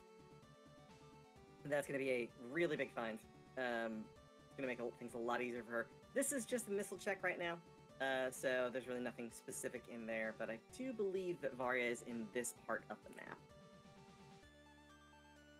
Yeah, it's a lot of uh, a lot of checking, especially like the fact is almost all of Ridley is hazard checks. So hopefully, we'll find uh, we'll find some uh, some progression soon on either side. Uh, looks like Ellie is still looking for where that uh, that wrecked ship might lead. Um, I think she's just kind of missed the uh, the elevator a couple times, and that's going to make the biggest uh, biggest impact on this is finding that elevator to wreck ship. Um, no, no, she's got bombs, but remember. Um, no, she doesn't. She hasn't found wrecked ship yet. That explains some of the the uh, lack of progress. So she's looking right now trying to try and find where that that progression point is. Um, it's actually on the opposite side of that one room. So we'll see it soon. Uh, it's just a matter of finding it. Looks like uh, Kat's finding her way through more of Ridley right now. Um, take a quick look and make sure I'm getting that right. Oh yeah, no, it's actually uh, there's it's sort of in the center of Ridley is where that uh, Varia suit is. So I think Kat's probably more likely to find the boss than before she finds the uh, actual Varia suit. Uh, I'm also reasonably sure she suspects she's going to find Varia in this area. Uh, just based on the current item loadout she has. Honestly, I was like- not expecting a Varia in Ridley. Yeah, I mean, given the amount of fire that was in there, I'm guessing you were expecting to have it beforehand. I considering I knew I was already doing some shenanigans I wasn't exactly supposed to. I figured, Oh, "Oh, looks like Kat found the long beam. Was." Yes, Longbeam and Varia buried very deeply in uh, in Ridley. Yeah, I, I tried to investigate the other side. I saw the wave beam lock in my own room, and I figured it was that way. Yeah, entirely possible. Yeah, I mean, uh, the idea is supposed to be that, like, I guess that would dissuade you from going in there. Obviously, if you don't have the wave beam, it's one of those things where you could go, could double back if you were looking for something specific. But By the time you got wave, you would have already known that it wasn't going to be beneficial. Yeah. Uh, I think Kat might have found that long beam and thought that might have been the uh, thing that was preventing her from finding another item somewhere else. So she's just uh, wholesale giving up on exploring more of Ridley for the moment, and is uh, looks like she's going back to do something else, possibly do trade. Um, she did not find the uh, the screw attack in that room the first time she was in there. Hopefully, however, uh, going back there with, with fresh set of eyes, she'll be able to find something something else there. She'll be able to find that screw attack. And having the sensor this time, the last time she was in that room, she still had Aegis Core equipped, so she couldn't see that false wall. I didn't even I didn't even find Aegis Core. Where was Aegis Core? Uh, Aegis Core was in the uh, the mountain in Crateria, so Ah. then you have Morph Ball going through there. Uh, it was uh, I think a missile, an E tank, and an Aegis Core. That that's a that's about what's usually in there when you. Yeah. It's either like two major items or that. Yeah, wasn't anything super super specific, but yeah, it was uh, it's kind of nice to uh, see that get its uh, get used get used rather. Yeah, Kat's doing more exploration of Norfair. Unfortunately, that area is just not going to lead to anywhere specifically useful. All of these items are just regular missiles. Um, there were a lot of really interesting blind alleys in this map. At least uh, that's how I've seen it. There was a lot of uh, uh, just sort of it'll take you in one direction, it won't block you off, but it'll set you up to go through into a long area where there's just really no major benefit, no payoff. yeah, that I would agree with that assessment. Which I mean, it's, it's kind of mean for a seed, but it's also one of those things where I think it's it's entertaining in its own right. It gives people the the opportunity to do more exploration. The only thing I think might have been a little too mean for the seed was was having Morph Ball being little guy. If you know the room, it's not that mean. Uh, You're also talking about uh, potentially runners that don't know the room. So that is true. for, my, for myself, when I found it, it was okay. I know there's something in here. I know one of these blocks will break. I just don't know how to break it. I assumed it was a bomb spot or a missile spot. So for a good 20 minutes, I just ignored the room. Uh, it did very similar to what Arborelia did, where you you don't know if you want to do it because it's a lot of time investment and it's it's a lot of like tedious checking. But it was hiding one of the most important items in the game. Definitely. and Kat's exploring that area that she couldn't without Ice Beam. Uh, I saw you also logically skipped this. It's something I Yeah. did when I was running through it as well. Um, I was very worried that Tourian was going to be back where Kat is. Oh yeah, that would make sense. Especially with those, those Metroid blockers. Yeah, like that's Mhm. Entirely possible. But yeah, so this is also a, a great illustration of why we have the time limit set on, on the time that we do. Um, a very experienced runner like Amada was able to rip this seed apart through no amount of, of just good luck and really solid skill plays. Uh, but you will see some other runners tend to struggle with some of these things because they are very well hidden. Um, and it's it's not just familiarity with the room; it's also familiarity with how the generator works, where it's going to place things, how many things you found in any specific area. So there's a lot that goes into it to give a lot of variation in runtime for these. Definitely. And we're talking also about some of the some of the meanest settings. We're talking about seven zone large, talking with hazards. It uh, it definitely has an impact. Definitely does. There's just so many rooms. I think it's the uh, the total number of screens was 500 and some. It's it's a substantial number. I mean, a substantial part of that's the mountain, but Oh yeah. These are specific individual rooms as well. There there are a couple. There's like I want to say 150 rooms, something like that. even I'd go check, but I don't know if I can leave this uh, mission report screen. Uh, it, yeah, I wouldn't worry about checking right now. Um, if you would like, though, you can also run have that run through the route for you, so you can kind of see what your route was. oh yeah, I can do that. Be a fun little, little execution to show one of some of the uh, end game features of this as well. Once you've finished a, a seed, it will allow you to run through every move you made through the process. So it follows what what square you were on, what stuff you picked up when. So you have a, a full recounting of how the seed went. And you can see like there are moments where there was some confusion set in where you're just checking the same room a couple times trying to figure something out. And uh, sometimes it clicks this is really that's the moment where you got really far ahead was finding that bomb so quickly. I really think that's the that's like the locus of, of really getting through this as fast as possible. Yeah. Because you were able to get you were able to get bomb and morph without passing by those rooms at all. which allowed you to get sensor right away, which gave you that sort of extra edge. I for the most part, I didn't fully need sensor. I was familiar with the vast majority of these rooms. But it definitely there was a couple where it definitely did help. Oh yeah, and a lot of those are, are rooms where it explicitly doesn't have breakable blocks that are visible, but it has something like uh, a, a room transition where you can see there's just sort of going to be another room on the other side, even if it isn't clear. You can go through like a uh, a set of blocks that may not be corporeal, but won't show that they're not corporeal. Those sorts of things. So it looks like uh, looks like Kat just found Spazer, which is excellent for her. Um, Isn't that so she's got she's got long beams. Oh no, she, did she find Spazer? It was Ellie that found Spazer, rather. My mistake. So yeah, Kat still needs Spazer. Kat still needs Wave, um, and she needs to pick up Screw Attack. So hopefully she'll make her way back to Kraid uh, and deal with that relatively soon. Um, I, I think at the moment right now she's thinking, I gotta find that Varia suit. I gotta figure out where that is, and I've got to push forward into getting it so that Ridley is a little more traversable. Unfortunately, uh, Ridley is where that suit is. Yeah, so it's gonna be it's gonna be difficult for for her to find her way through some of this. Um, I will say though, you you definitely handled that that run out of Tourian very very well. Um, I didn't take two attempts, but I was a lot lot shorter on time than you were by the time you got to the end of it. That room specifically with the uh, falling through the floor, taking the elevators back up, Hmm. kind of mean. The the obstacle course isn't that bad when you've been through it a couple times. Mhm. Uh, but yeah, definitely, when, if you, especially if you haven't seen it before, that room can be very intimidating. Oh yeah. And we're talking about the number of rooms that are available for this particular generation. I believe our Arborelia had something like 10,000 plus rooms. There are a lot of rooms. Ah, Elia just found her bombs. That's fantastic. She can start doing some more progression work with that. It's gonna help her uh, get further in. And that's one of the big blockers, Mhm. really is, for, for getting any major progress through this.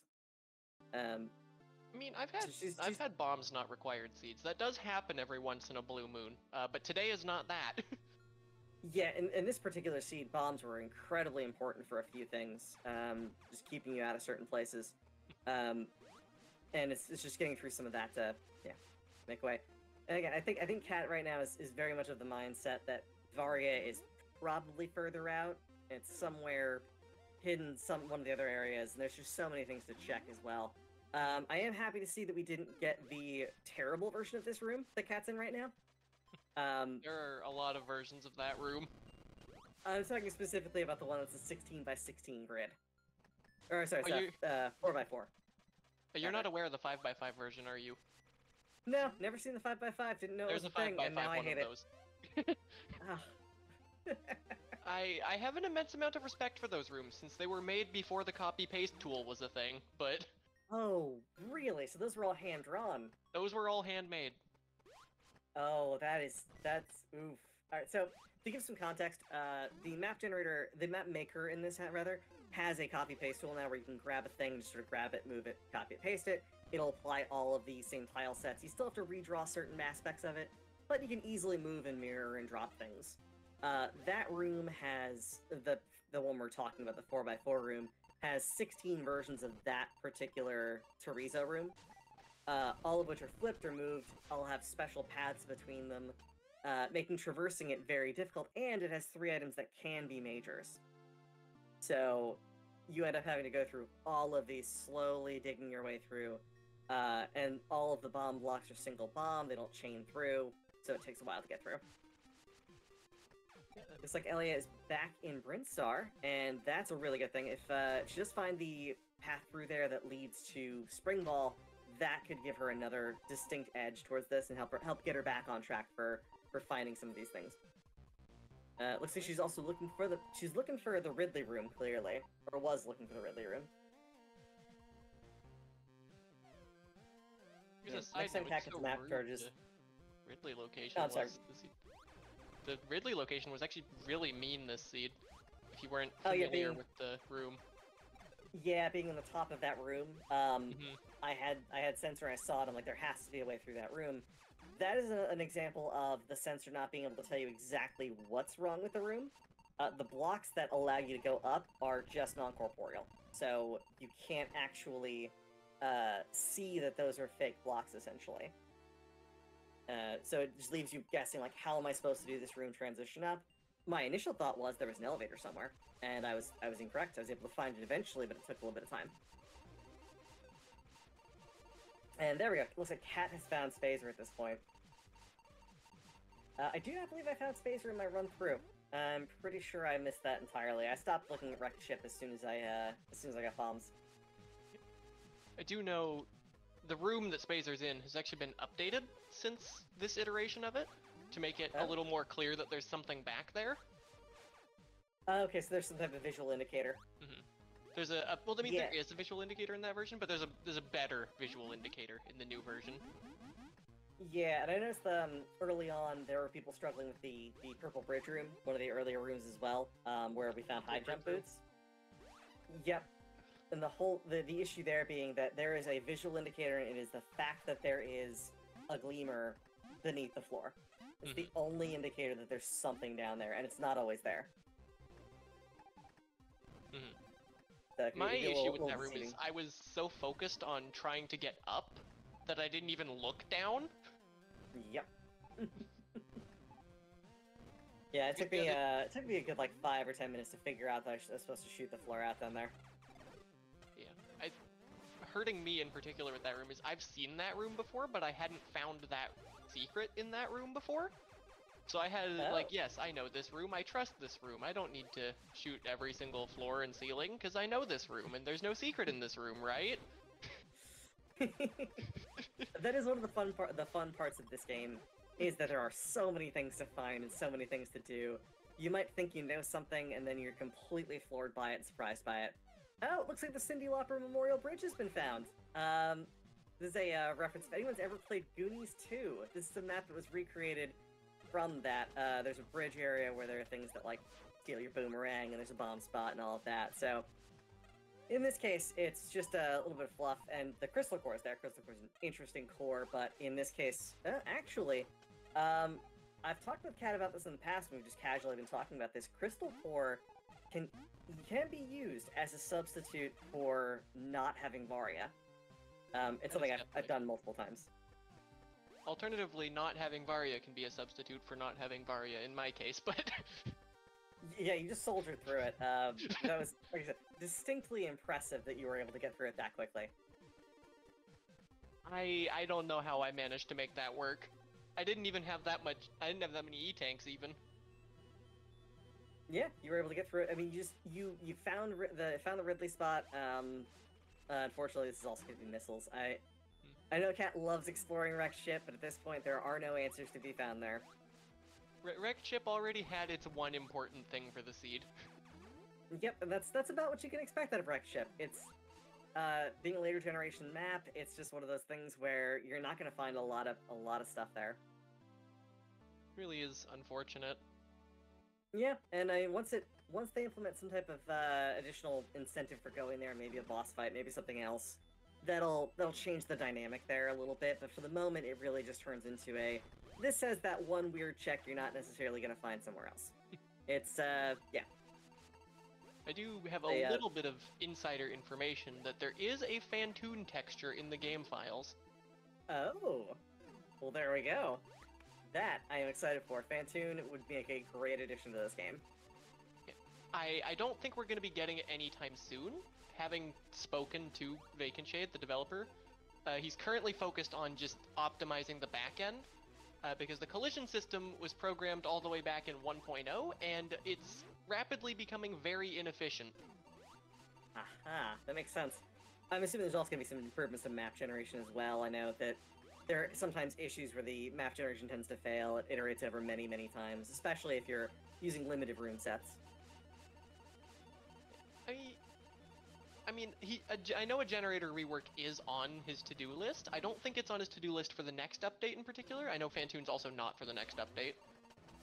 Oh yeah, and I mean, this is a like this is a living, breathing project. We're going to see a lot more smaller updates flow over time. Um, there is a Metroid Planets community. Uh, if you're interested in looking for it, you can find it from the uh, Metroid Planets uh, page on uh, Metroid Construction.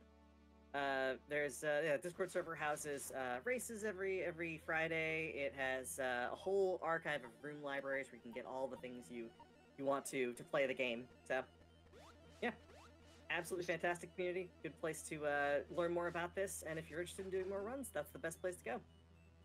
Minor correction: uh, races Fridays and Tuesdays and Sundays. I was incorrect about that. Yeah, so the multiple races per week, always good to know. Although the the Sunday ones aren't always very beginner friendly. If you're if you want beginner friendly races, show up on Friday. Don't show up on Sunday.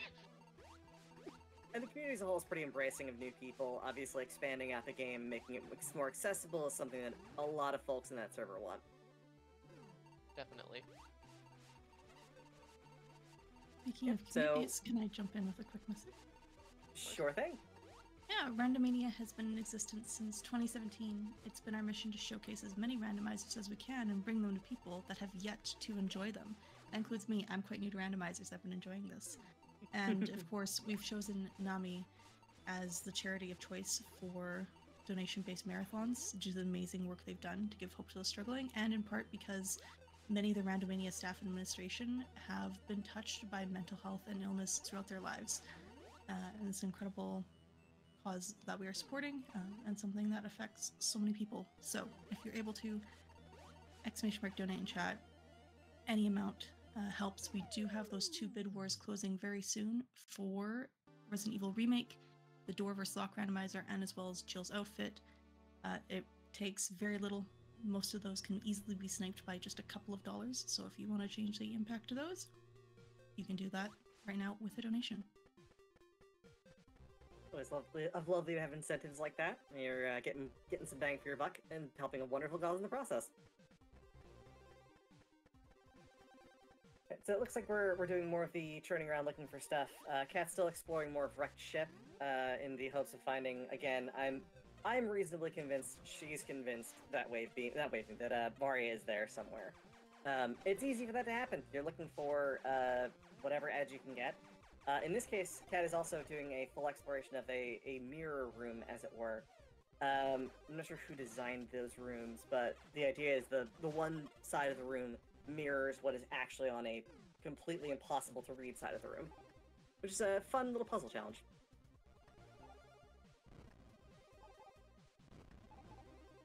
So right now we're looking at looks like Elia is working her way through more of Brinstar now, uh, which is fantastic.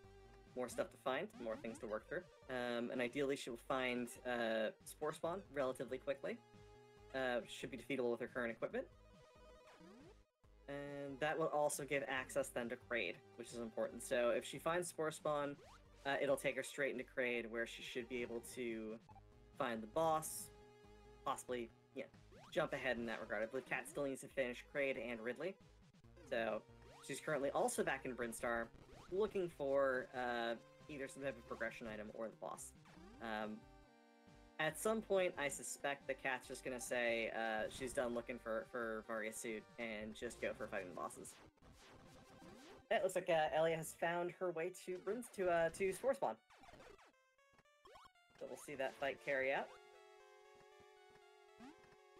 I will comment on the screw attack location. I, I have since, and by since I mean literally last night, I went into the editor and I made it a little bit easier to tell that that wall isn't real.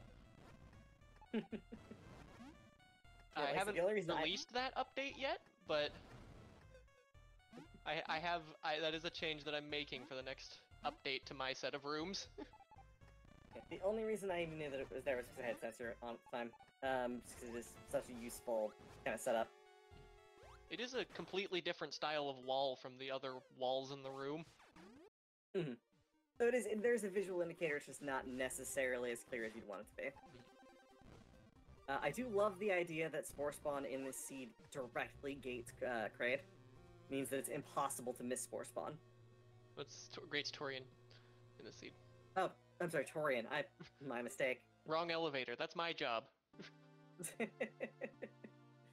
yeah, we were. Uh, I, I do love the fact that there is a direct gating towards an in-game area that Spore Spawn blocks. That way, it is literally just I'm gonna go there and you find it along the way.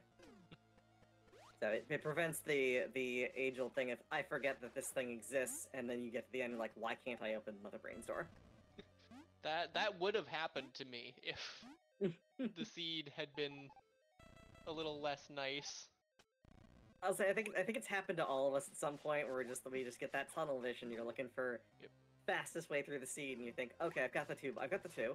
There were only two bosses in the the original game, aside from Mother Brain. We got the two. Why why can't I go any further? It's like, oh, that's right, Spore Spawn.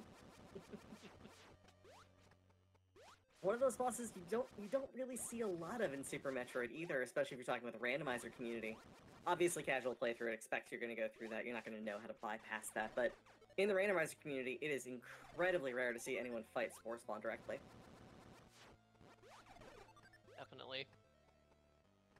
I don't even know when the last time I fought Spore Spawn in Super Metroid. Actually, I did have a Super Metroid randomizer that forced me to fight Spore Spawn that not that long ago. Yeah, it's it's not a common occurrence. It's, it's equivalent to like um if you've played The Link to the Past. Uh, it's like a pedestal seed where you've got to unlock the pedestal to find some type of progression item. It's just that kind of rarity where you just don't expect it.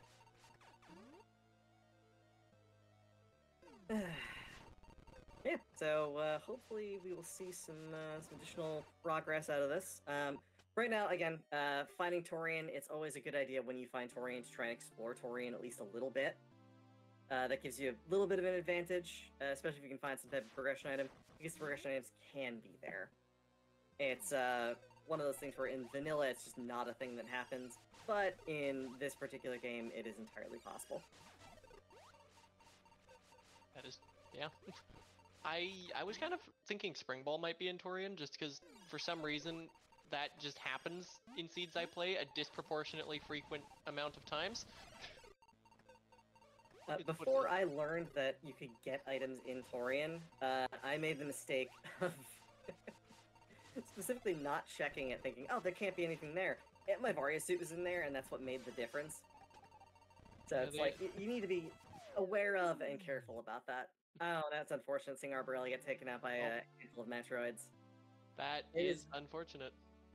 Deeply unfortunate. We've all kind of seen that. Ah, and we see Kat's using the using the uh, crystal core uh, to bypass the uh, the requirements for uh, for hazards. Um, No, it's long vault. I have never seen Long Vault before, and that is hilarious. Yeah, so to, to give context on how Crystal Core works, um, what Crystal Core does is it every time you drop to zero health, it burns a missile and gives you five health. Um, thus, effectively making it that you've got five health for every missile. If you've got 225 missiles, that's a lot of health. That's multiple. That's that's 10 E tanks worth of health. So it gives you a in lot more time. In the racing community, we sometimes call it Varia suit at home. oh yeah, that, that's exactly what it is. It's suit at home. It's not quite Varia suit. It's not even that close to Varia suit, but it works.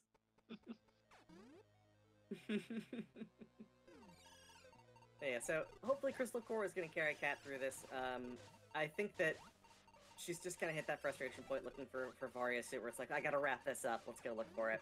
Let's go. Let's go try and take care of these bosses. Crystal Core will suffice.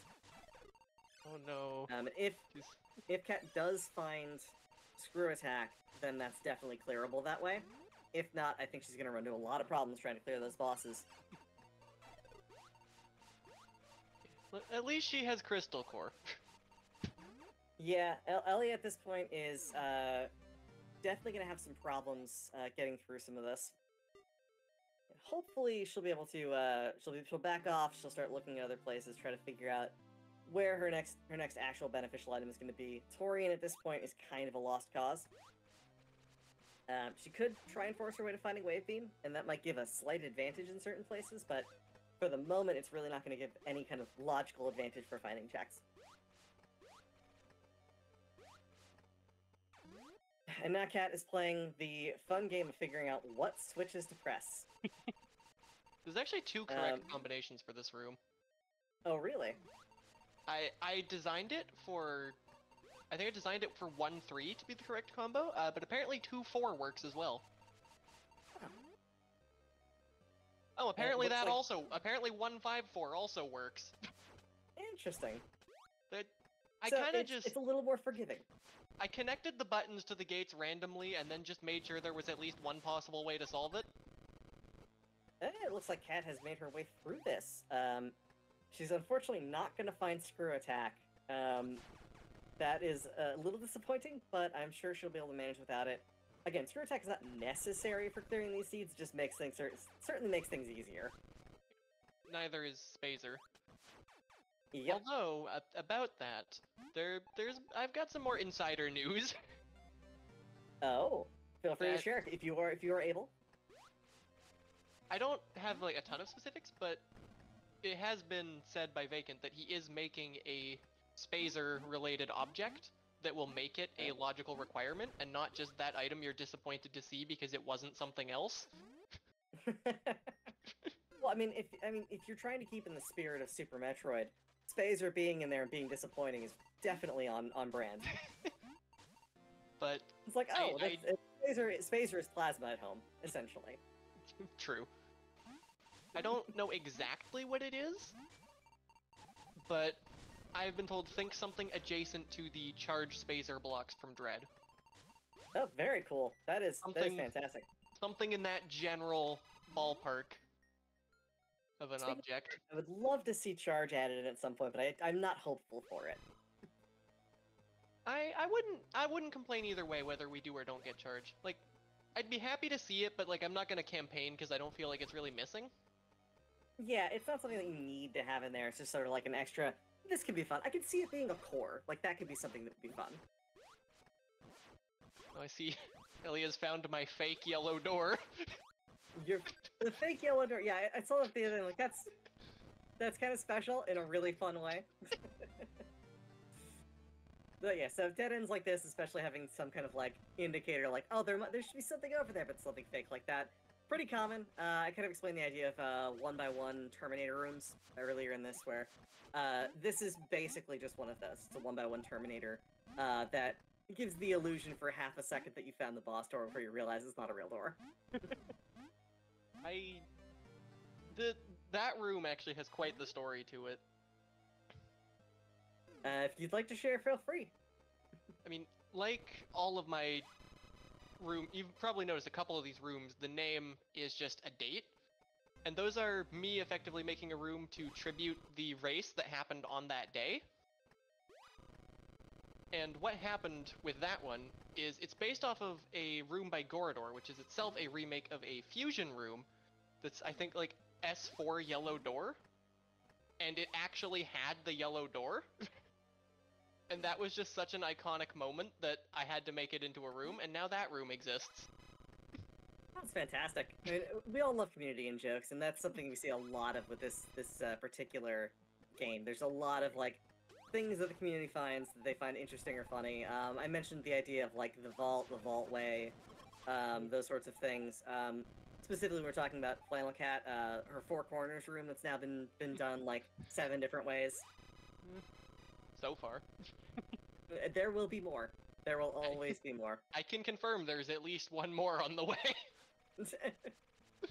I mean, there's there's like uh yeah, and, and one of the one of the fun parts about this sort of design for the game is that if a community has a joke, it can they can just run with it, and like it gets more refined as things go, and it becomes part of the the DNA of, of this game. Like finding uh finding a, a vaultway doesn't seem like it's a foreign idea to me, but it, at the time it was made, it was sort of making fun of the idea of the high security vault and all the other things. Actually, the high security vault came after.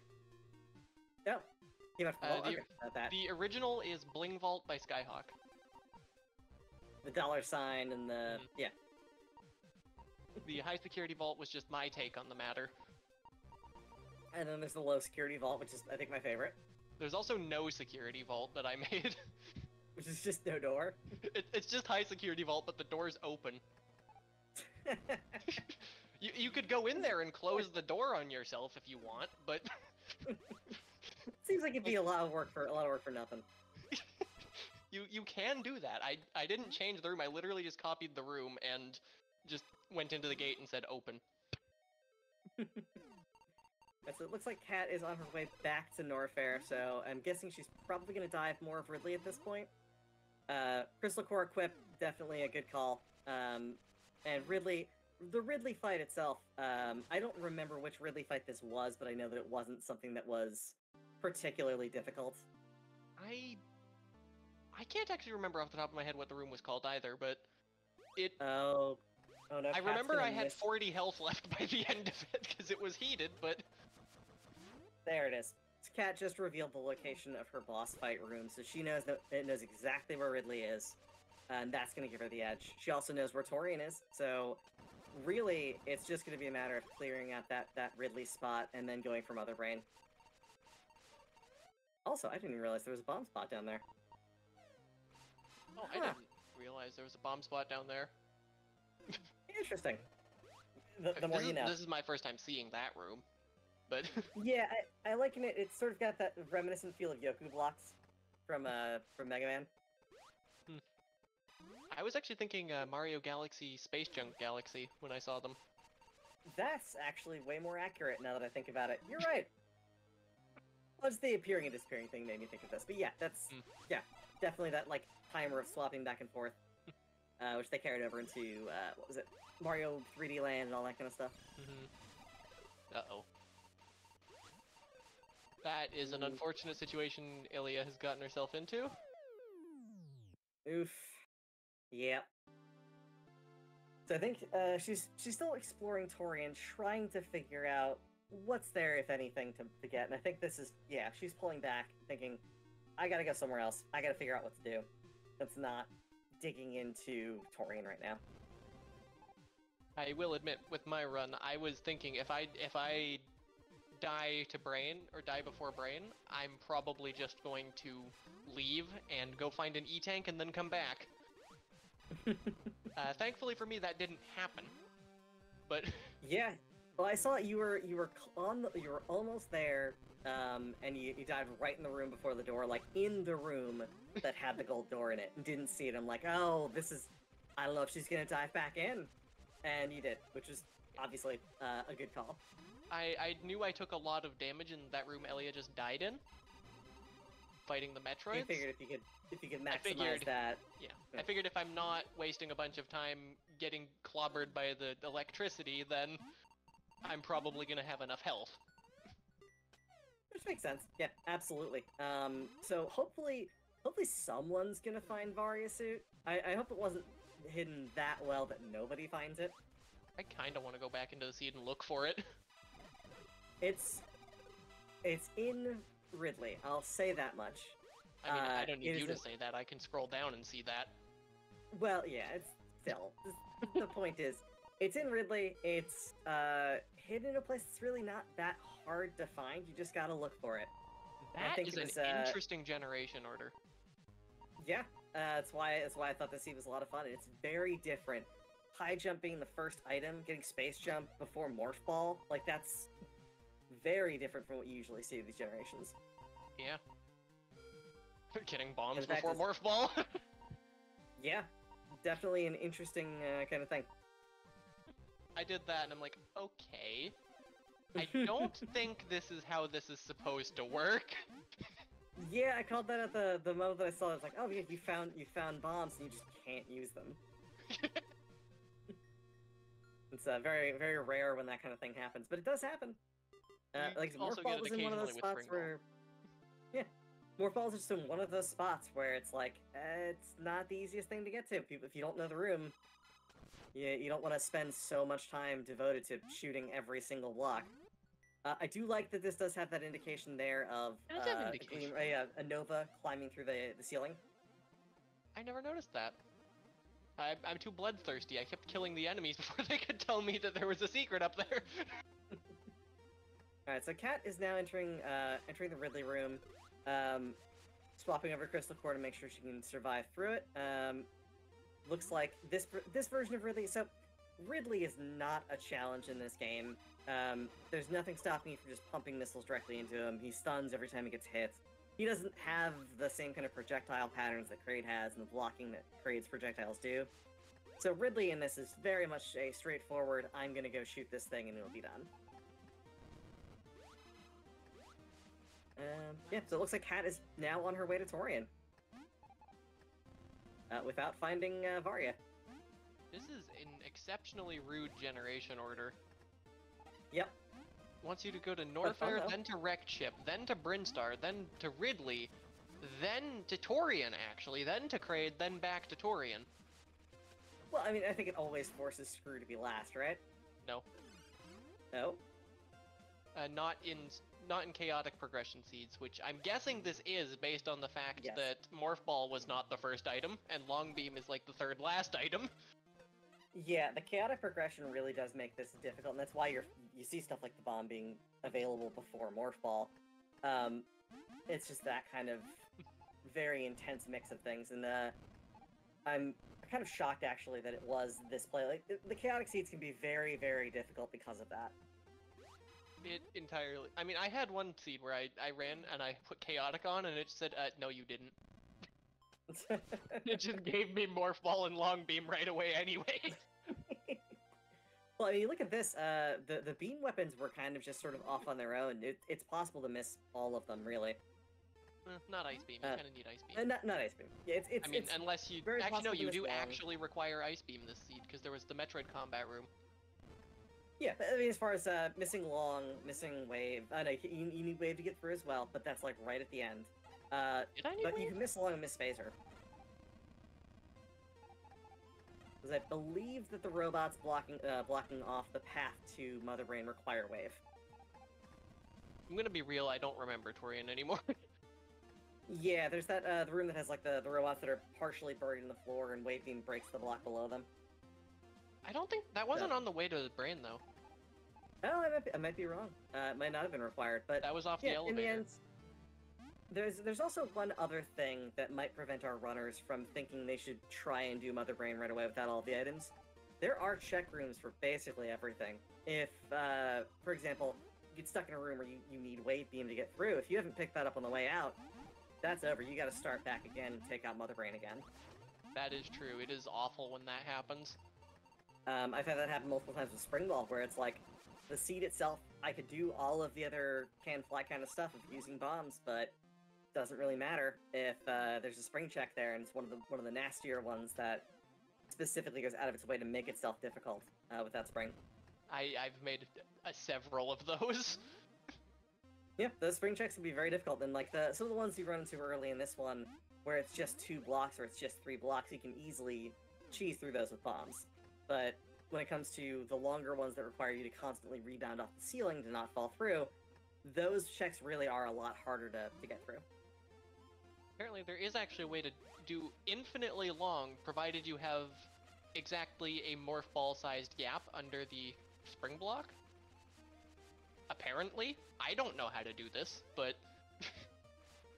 I Yeah, know it's a thing. is- it's like with any game that people speedrun and run fast. There, you're never going to get a game that doesn't have glitches or have unintended behavior, and there are people who are going to find it. I mean, that's the the core of our uh, our of, of speedrunning is just finding those things that the dev never intended or that were just not how mechanics were intended. I'm just I only had 36% of the items. Wow. Yeah, um, Kat has been just everywhere looking for stuff, and I think uh, the the drive to find Varia was really strong. and It's just sort of a, know, well, what now, kind of thing. It's actually a really warm Brinstar. You don't usually see a lot of heated rooms in Brinstar. Yeah, there, there were a lot of hazard rooms in this. Uh, it did give you a lot of health early on, which is why I think that it was it was likely to spawn so many. Yeah. I, th- I think the way the generator works, it's actually more accurate to say it the other way around. Nope. I'm pretty sure it places rooms and then items. Oh. So it, it it put a lot of heated rooms in, and then saw, oh, I need to give them a lot of health. Yeah, ah, Okay, that makes sense. I think. I might. I think sometimes it places. It, like it'll place a couple rooms, then some items, then a couple rooms, then a couple items. It could be yeah, that kind of generative kind of design. Yeah. I I've played enough of this game that I have a generally pretty good idea of what the generator likes to do. There's there's a couple rooms that the generator absolutely loves that I think I said to Ilya, you need to turn off this room because it will show up and take like 20 minutes. Oh yeah, I mean that's that's one of those big things. I mean, they're the TGIF rooms. If you want to give some context into those. Oh boy, those those rooms. The the TGIF tag. Uh, we've excluded them in this race because we we we don't hate ourselves that much. Uh, but they're basically rooms that are that are either long or unintuitive or just annoying. So so big doesn't necessarily equal TGIF, but if it's anything basically if it's a room that you think is annoying every time you see it, such as I think Hallwayception actually does now. I think Hallwayception does, and Elia is missing an update from this author. I couldn't say off the top of my head without checking. Mhm. Uh, but any just big, time-consuming or otherwise annoying rooms get tagged with TGIF, and we den- generally turn them off. Uh, that tag is also why I say don't show up to Sunday races if you are inexperienced, because that's when we have them on. Yeah, uh, you you have a, a relatively infamous uh, room with that Oh, tag boy. on. Uh, one that, we, that I ran into in uh, another run of Oh. Metroid Planets I was doing for a different marathon. Uh, oh no, that wasn't a marathon. That was a personal stream. Either way, uh, a room that is uh, an eight-minute long room of going through pipe, through, through just, I- just Morph Ball pipe. It, it's eight minutes of Morph Ball pipe. And uh, let's just say I added the shortcut for a reason. The the first time it showed up, or at least the first time I experienced it, uh, was in a race. And uh, well, the shortcut didn't exist yet. You had to go through it three times, unless you had Varia the first time through, which only one person did. well, no, I, uh, I managed to get break out of it a little bit early uh, using wave beam, long wave. Yep, I I did notice that that's a thing. That wasn't intentional, but I noticed that. I'm like, you know what? You guys deserve some sort of mercy if this room spawned. Alright, so it looks like Kat is really just rushing as, as fast as she can to try and find that mother brain room. Once she finds it, I'm sure she'll get through it pretty quick. Um, it's just a matter of getting to that last little section. yeah, so it's, it's gonna be it's gonna be interesting to see uh, how this how this turns out. Um, yeah, but other than that, I mean, we've like I said, the community is very open to uh, yeah doing a lot of different race stuff. It's it's very very welcoming and open community. Very.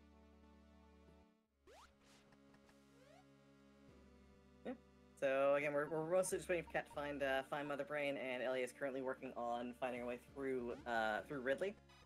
Um, again, the the hazard runs in this were pretty excessive and pretty hard, but I think that's uh, what people what people paid for. Definitely. When I was, I still remember when I was going through Ridley, I was just thinking I probably shouldn't be doing this, but on the other hand, content. Yeah, yeah, it was definitely one of those things where you took so many risks, and and that is really just. Um, I think that's that's one of the reasons you had a lot of really big payoff for a lot of really hard risk that you took.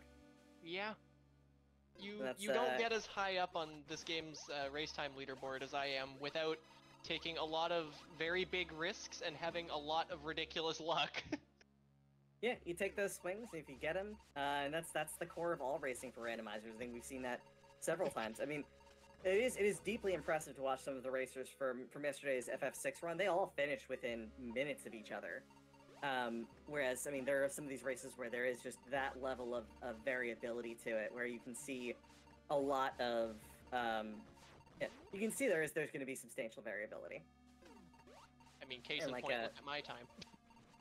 Yeah, and, and you look at some of the other randomizers, specifically RPG randomizers, uh, if you're talking Final Fantasy IV, you're talking about, um, so- like Earthbound, for example. All of those are very much sequential discovery kind of solutions. Uh, this is somewhat like that, but not quite. Sometimes it is. It looks, it looks like Kat has found the Mother Brain Room. Um, Ilya defeated Ridley. Ilya just finished Ridley. That's fantastic. So Ilya is, um, I believe at this point. Ooh, Kat needs to be careful. Oh, well, she has she has Crystal. Kat but has I would crystal, she's fine. very careful with this. Uh, you burn through a lot of missiles at the end here. Um, there Yeah. are a lot of um, just an That is absolute a very ton. bold decision, Kat. That, this is this is the Kat we know and love, uh, making the boldest of decisions. Uh, okay, so Kat still has 300 missiles, and that's again, that's uh, uh, sorry, 130 missiles, and that's 130 hits essentially.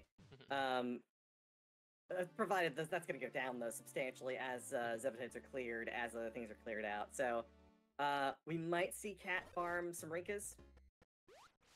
Um, and there's some there's some health back. That's always a good thing. Um, again, Rinka farming is kind of a, a tried and true thing that happens in in this area. Like especially you go through a, a hard fight like that where you know you're really low on health, and Kat was obviously taking some some liberties to be a little more aggressive for time. Um, but yeah, it's it's always interesting to see these sorts of things. And uh, on the path out, Kat is likely to be able to survive this with Crystal. Um, Crystal is actually more beneficial here than having Varia suit by a pretty substantial margin. Mhm. Well, there, there's no heated rooms in this escape. Yep, which is a huge, huge benefit. There can I be heated rooms. I was so worried about that. I had four health after that spring know, so- room. Yeah, seeing you go through Spring Ball Room like that, uh, that was definitely one of those harrowing moments of like, well, I've got 75 health. If I hit a heated room, I'm probably not going to make it, but I gotta try. I I was worried about time, just seeing how long big the escape timer was. At that point, I had completely forgotten about the obstacle course, which is known for adding a very large amount of time to the escape timer. Oh, I did not know you could Yeah. do that. Congratulations, Kat. You Well, you're, you're in you you're in the box. Congratulations. but yeah, obstacle of course adds an incredible amount of time to this. Um, so it's one of the one of the basically one of the big space jump checks, essentially. I do actually have a little bit of insight as to how the escape timer is calculated. Oh, that's always good to know. Uh, for the mo- obvious, some of the obvious things, like the more screens in the escape, the bit larger the timer is, for obvious reasons. Uh, however, that includes the entire mother brain room, regardless of where brain actually is in the room, because the generator doesn't know Oh. that. And it might have a situation like we did today, where brain is right at the front of the room, and then there's a ton more room after it. So Makes just in case that happens, the entire brain room is counted in the escape timer. Uh, I believe every Zebetite adds a bunch. Uh, every lift adds a bunch. Kat is just finishing up this last little escape area. Um, looking at the map, actually, she could have used that uh, that Rinka to prop herself up a little bit, but Oh. Alright. Uh, so yeah, we're we're she should be out momentarily. We're gonna see Kat finish up this this seed quite quickly. She's gonna hit that last little bit there. Um, so hopefully, um, see that sort of uh, finish up right now. I think she's in the last uh, last five or six rooms. Not even. Um, Not even. She's got this. As yeah, long as she doesn't get grabbed by a Metroid, she's fine. Yep, this is the last little section here. We're gonna pop right down, and uh, yeah. Out this door, as soon as she goes through here, she will be in the room with the elevator, and uh, that will be time on Kat.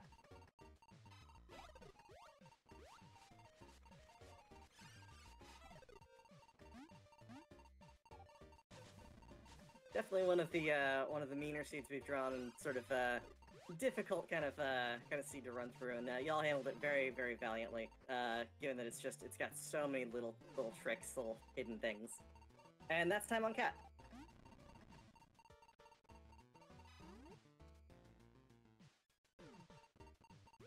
Congrats, Kat. You did it. Yep. I know she can't hear us yet, Uh, but Yep, sure she'll be pulled up momentarily. Trying to get that conversation on. Uh, but yeah, so like I said, excellent race, a lot of fun to watch. Um, if you're interested in seeing more of Metroid Planet, oh, hello, Kat. Welcome Oh, to I didn't the mean to chat. interrupt you. My bad. What Oh, um? no, no, no, go right ahead. I guess Amada just made every right choice ever, but oh my god, that seed. Jesus. Hello. Yep, that's Oh my gosh. Amada, I assume you finished, right? yeah, Okay. uh, a while ago. GG. Uh, oh I- my gosh. I had co-commentary for the last hour. That's that's great. Where, where d- I, I see none of us got the the the suit. Where was it? Geoff, you Allegedly, get it's you? in Very Ridley. deeply in Ridley. Oh yeah, okay. I'll just go right in there. Yeah. oh my gosh. There Oh my gosh. Oh boy. I didn't even figure out the intended solution to the room called Grab the Ledge. I just came back in IBJ'd. Yeah, I, I didn't come back in IBJ. I just did IBJ. I also Yeah. found Probably- bombs before morph. I found morph and bombs in a Oh my really God, short. bombs I'm like, took oh, I'm doing so great. long. I'm on fire. We should probably wrap this up and give some uh, some outro. So if uh, y'all want to uh, talk a little bit about yourselves, what you're currently doing. Yeah, hey, thank you. I'm Flannelkat, and I uh, I, lo- I loved this seed. It was awful and nightmarish. If you like things like this and randomizers and whatever, that's what I do. But thank you for watching, and this was definitely one of the most unreasonable seeds I've ever played. So I'm gonna go pass it off to anyone else now. All right, yeah, I'm Arborelia. I play a lot of randomizers. Uh, I sometimes play Metroid Planets better than this. Sometimes I don't. Um, I play, you know, a lot of Link to the Past randomizer. I play a lot of Pinball, which is not a randomizer but is awesome. Um, yeah. Uh, I'm Nami Amada. I, shocker, do a lot of randomizers. I play this game often. Pretty much always at the weekly community races. Uh, occasionally I play other games as well. Mostly other randomizers, but uh, every every once in a blue moon I'll do something that's not a randomizer. but but I, I don't actually know where I was going with that. I don't know. Uh, I, that- I'm I'm a bit of an airhead sometimes. And I've been uh, I'm Gray Goo Girl. I do randomizer streaming, a lot of it. Uh, I'll just leave it at that. y'all know where you can find me. Thank you all so much for that fantastic race. GG, all of you. Thank you, y'all. Thank you. Everyone stick around. We got more more runs still to come. We'll be taking a very brief break.